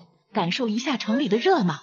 再说了，离你们家近，以后你们生了孩子，我和你爸也方便给你们带孩子，省得你们再花钱找保姆了，还省下不少钱呢。你说是吧？妈，你和爸是来城里享福的，还想着给我带孩子。你放心吧，我和小新一定给你们帮忙的，把首付给你付清。还是我大儿子孝顺呀。过了两天，儿媳妇出差回来，一看婆婆住在家里，心里有点。妈，你怎么来我们家了？怎么了？我儿子的家怎么还不让过来呀？我还住了好几天呢。不是的，你来住我也高兴。以前让你过来住，你也不过来。我这出差了不在家，你过来住了，好像是我这个儿媳妇不懂事呢，让人家说我不孝顺。老公听到老婆的声音走过来，老婆，你怎么回来了？不是还要待两天吗？正好我想给你说个事。什么事？说吧。咱爸妈在城里相中了一套精装房，准备买下来，不在农村生活了，正好还在我们小区附近。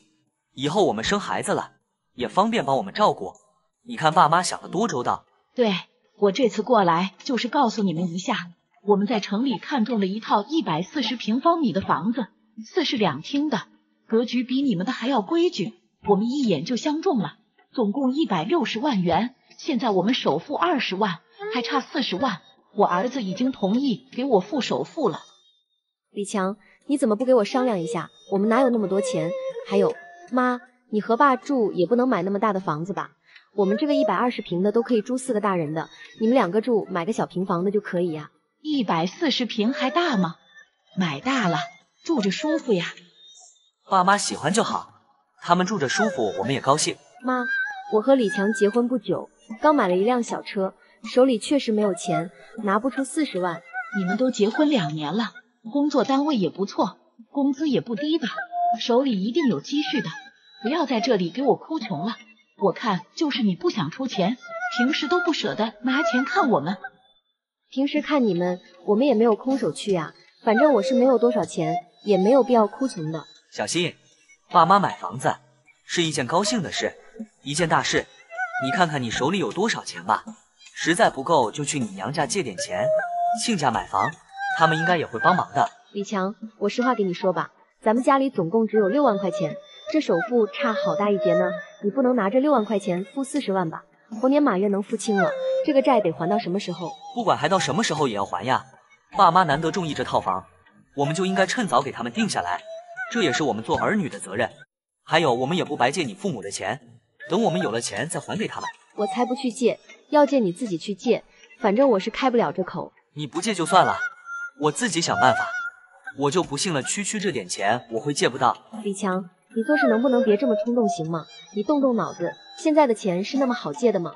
四十万也不是小数目，我看谁借给你。还有，妈。我想问一下，你们买这个房子是想写谁的名字？到底会写谁的名字？这个呀，还是等你们首付凑到了再说吧。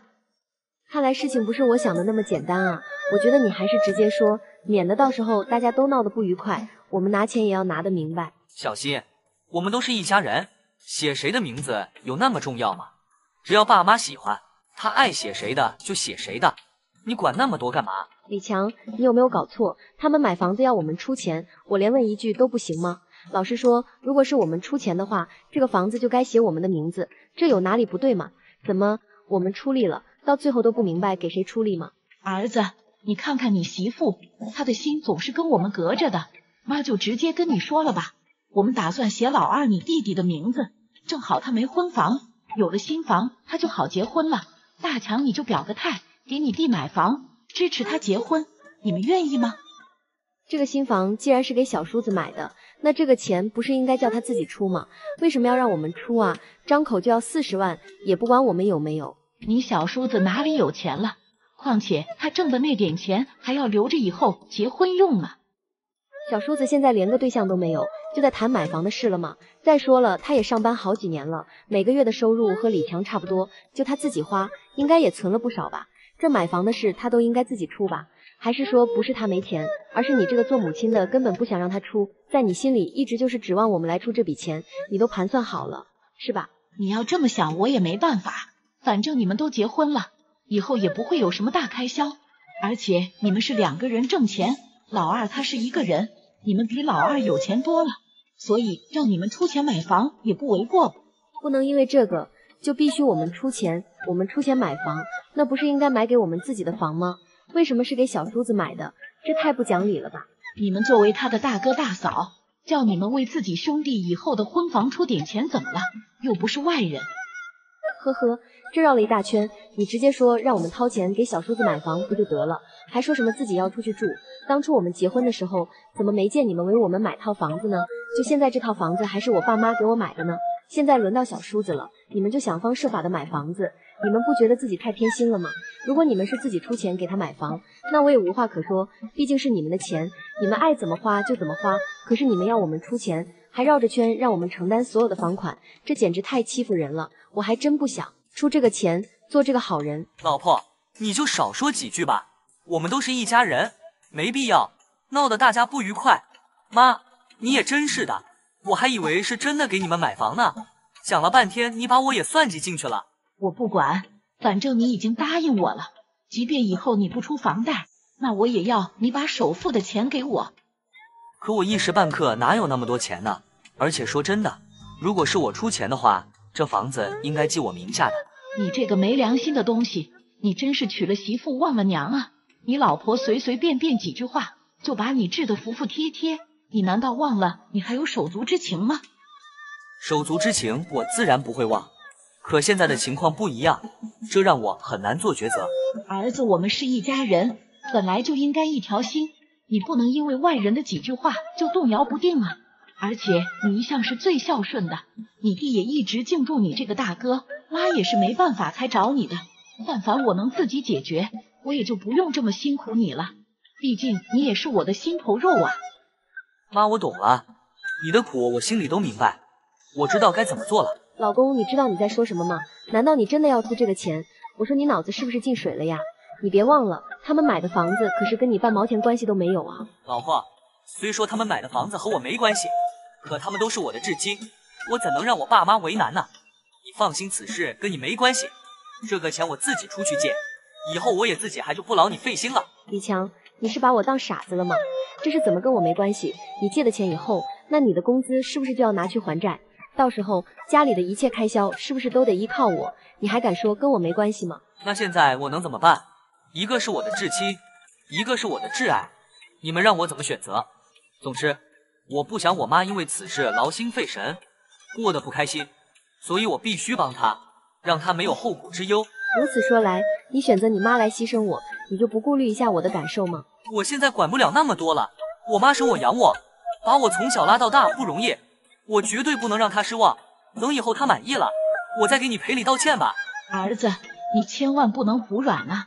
你越是向她低头，她以后会更越嚣张。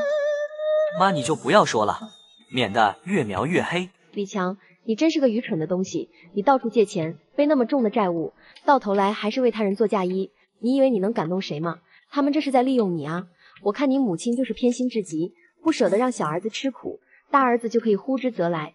挥之则去，完全不顾我们死活，你能不能清醒一点呢？老婆，你别这么说我妈，天下哪有母亲不疼自己儿女的？而且她说的也没错，我们都是一家人，就应该互相扶持。我既然都成家了，也应该帮一帮我兄弟。好吧，既然你吃了秤砣铁了心的要这么做，那我也不管了。但我不能让你连累我了，我会通知我所有的亲戚朋友都不许借钱给你，我倒要看看你到底有多大本事。小心你敢！你这是要断我儿子的后路吗？你怎么能做这么狠心的事？老太婆，你说什么？你居然说我狠？难道我狠得过你吗？你都不管你儿子以后的生活会怎样，我还需要在乎那么多吗？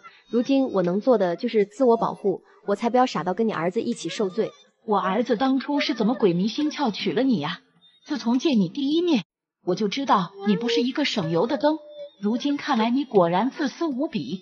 你以为你让亲戚朋友不要借钱就完事了吗？我告诉你，我儿子既然答应给我买房，那以后就是你们夫妻共同债务，你撇得干净吗？妈，你就少说两句吧，小心他现在在气头上，说的只是气话，你就不要跟他计较了。儿子，你看他都把你欺负成啥样了，你竟然还不让我说？你看看他一副心高气傲母老虎的样子，娶了她真是倒了八辈子的霉了。好了好了，你们现在都在气头上，等你们都冷静下来了，再好好谈吧。儿子，你可是答应我的，妈现在再问你一句，这钱你到底出不出？妈你就放心吧，我既然答应了，就能做到，我会给你出的，你就把心放在肚子里吧。那就好，有你这句话，妈就彻底放心了。至于你媳妇，我看她还能使什么幺蛾子？老太婆，我没有你那么深的心机，我也不会什么幺蛾子。但我会尽我所能让这件事跟我毫无关系。老婆，你这话是什么意思啊？意思就是你想要借钱，千万别找我，有本事自己想办法去。说完，小新就走了。你们说说，这母子能如愿吗？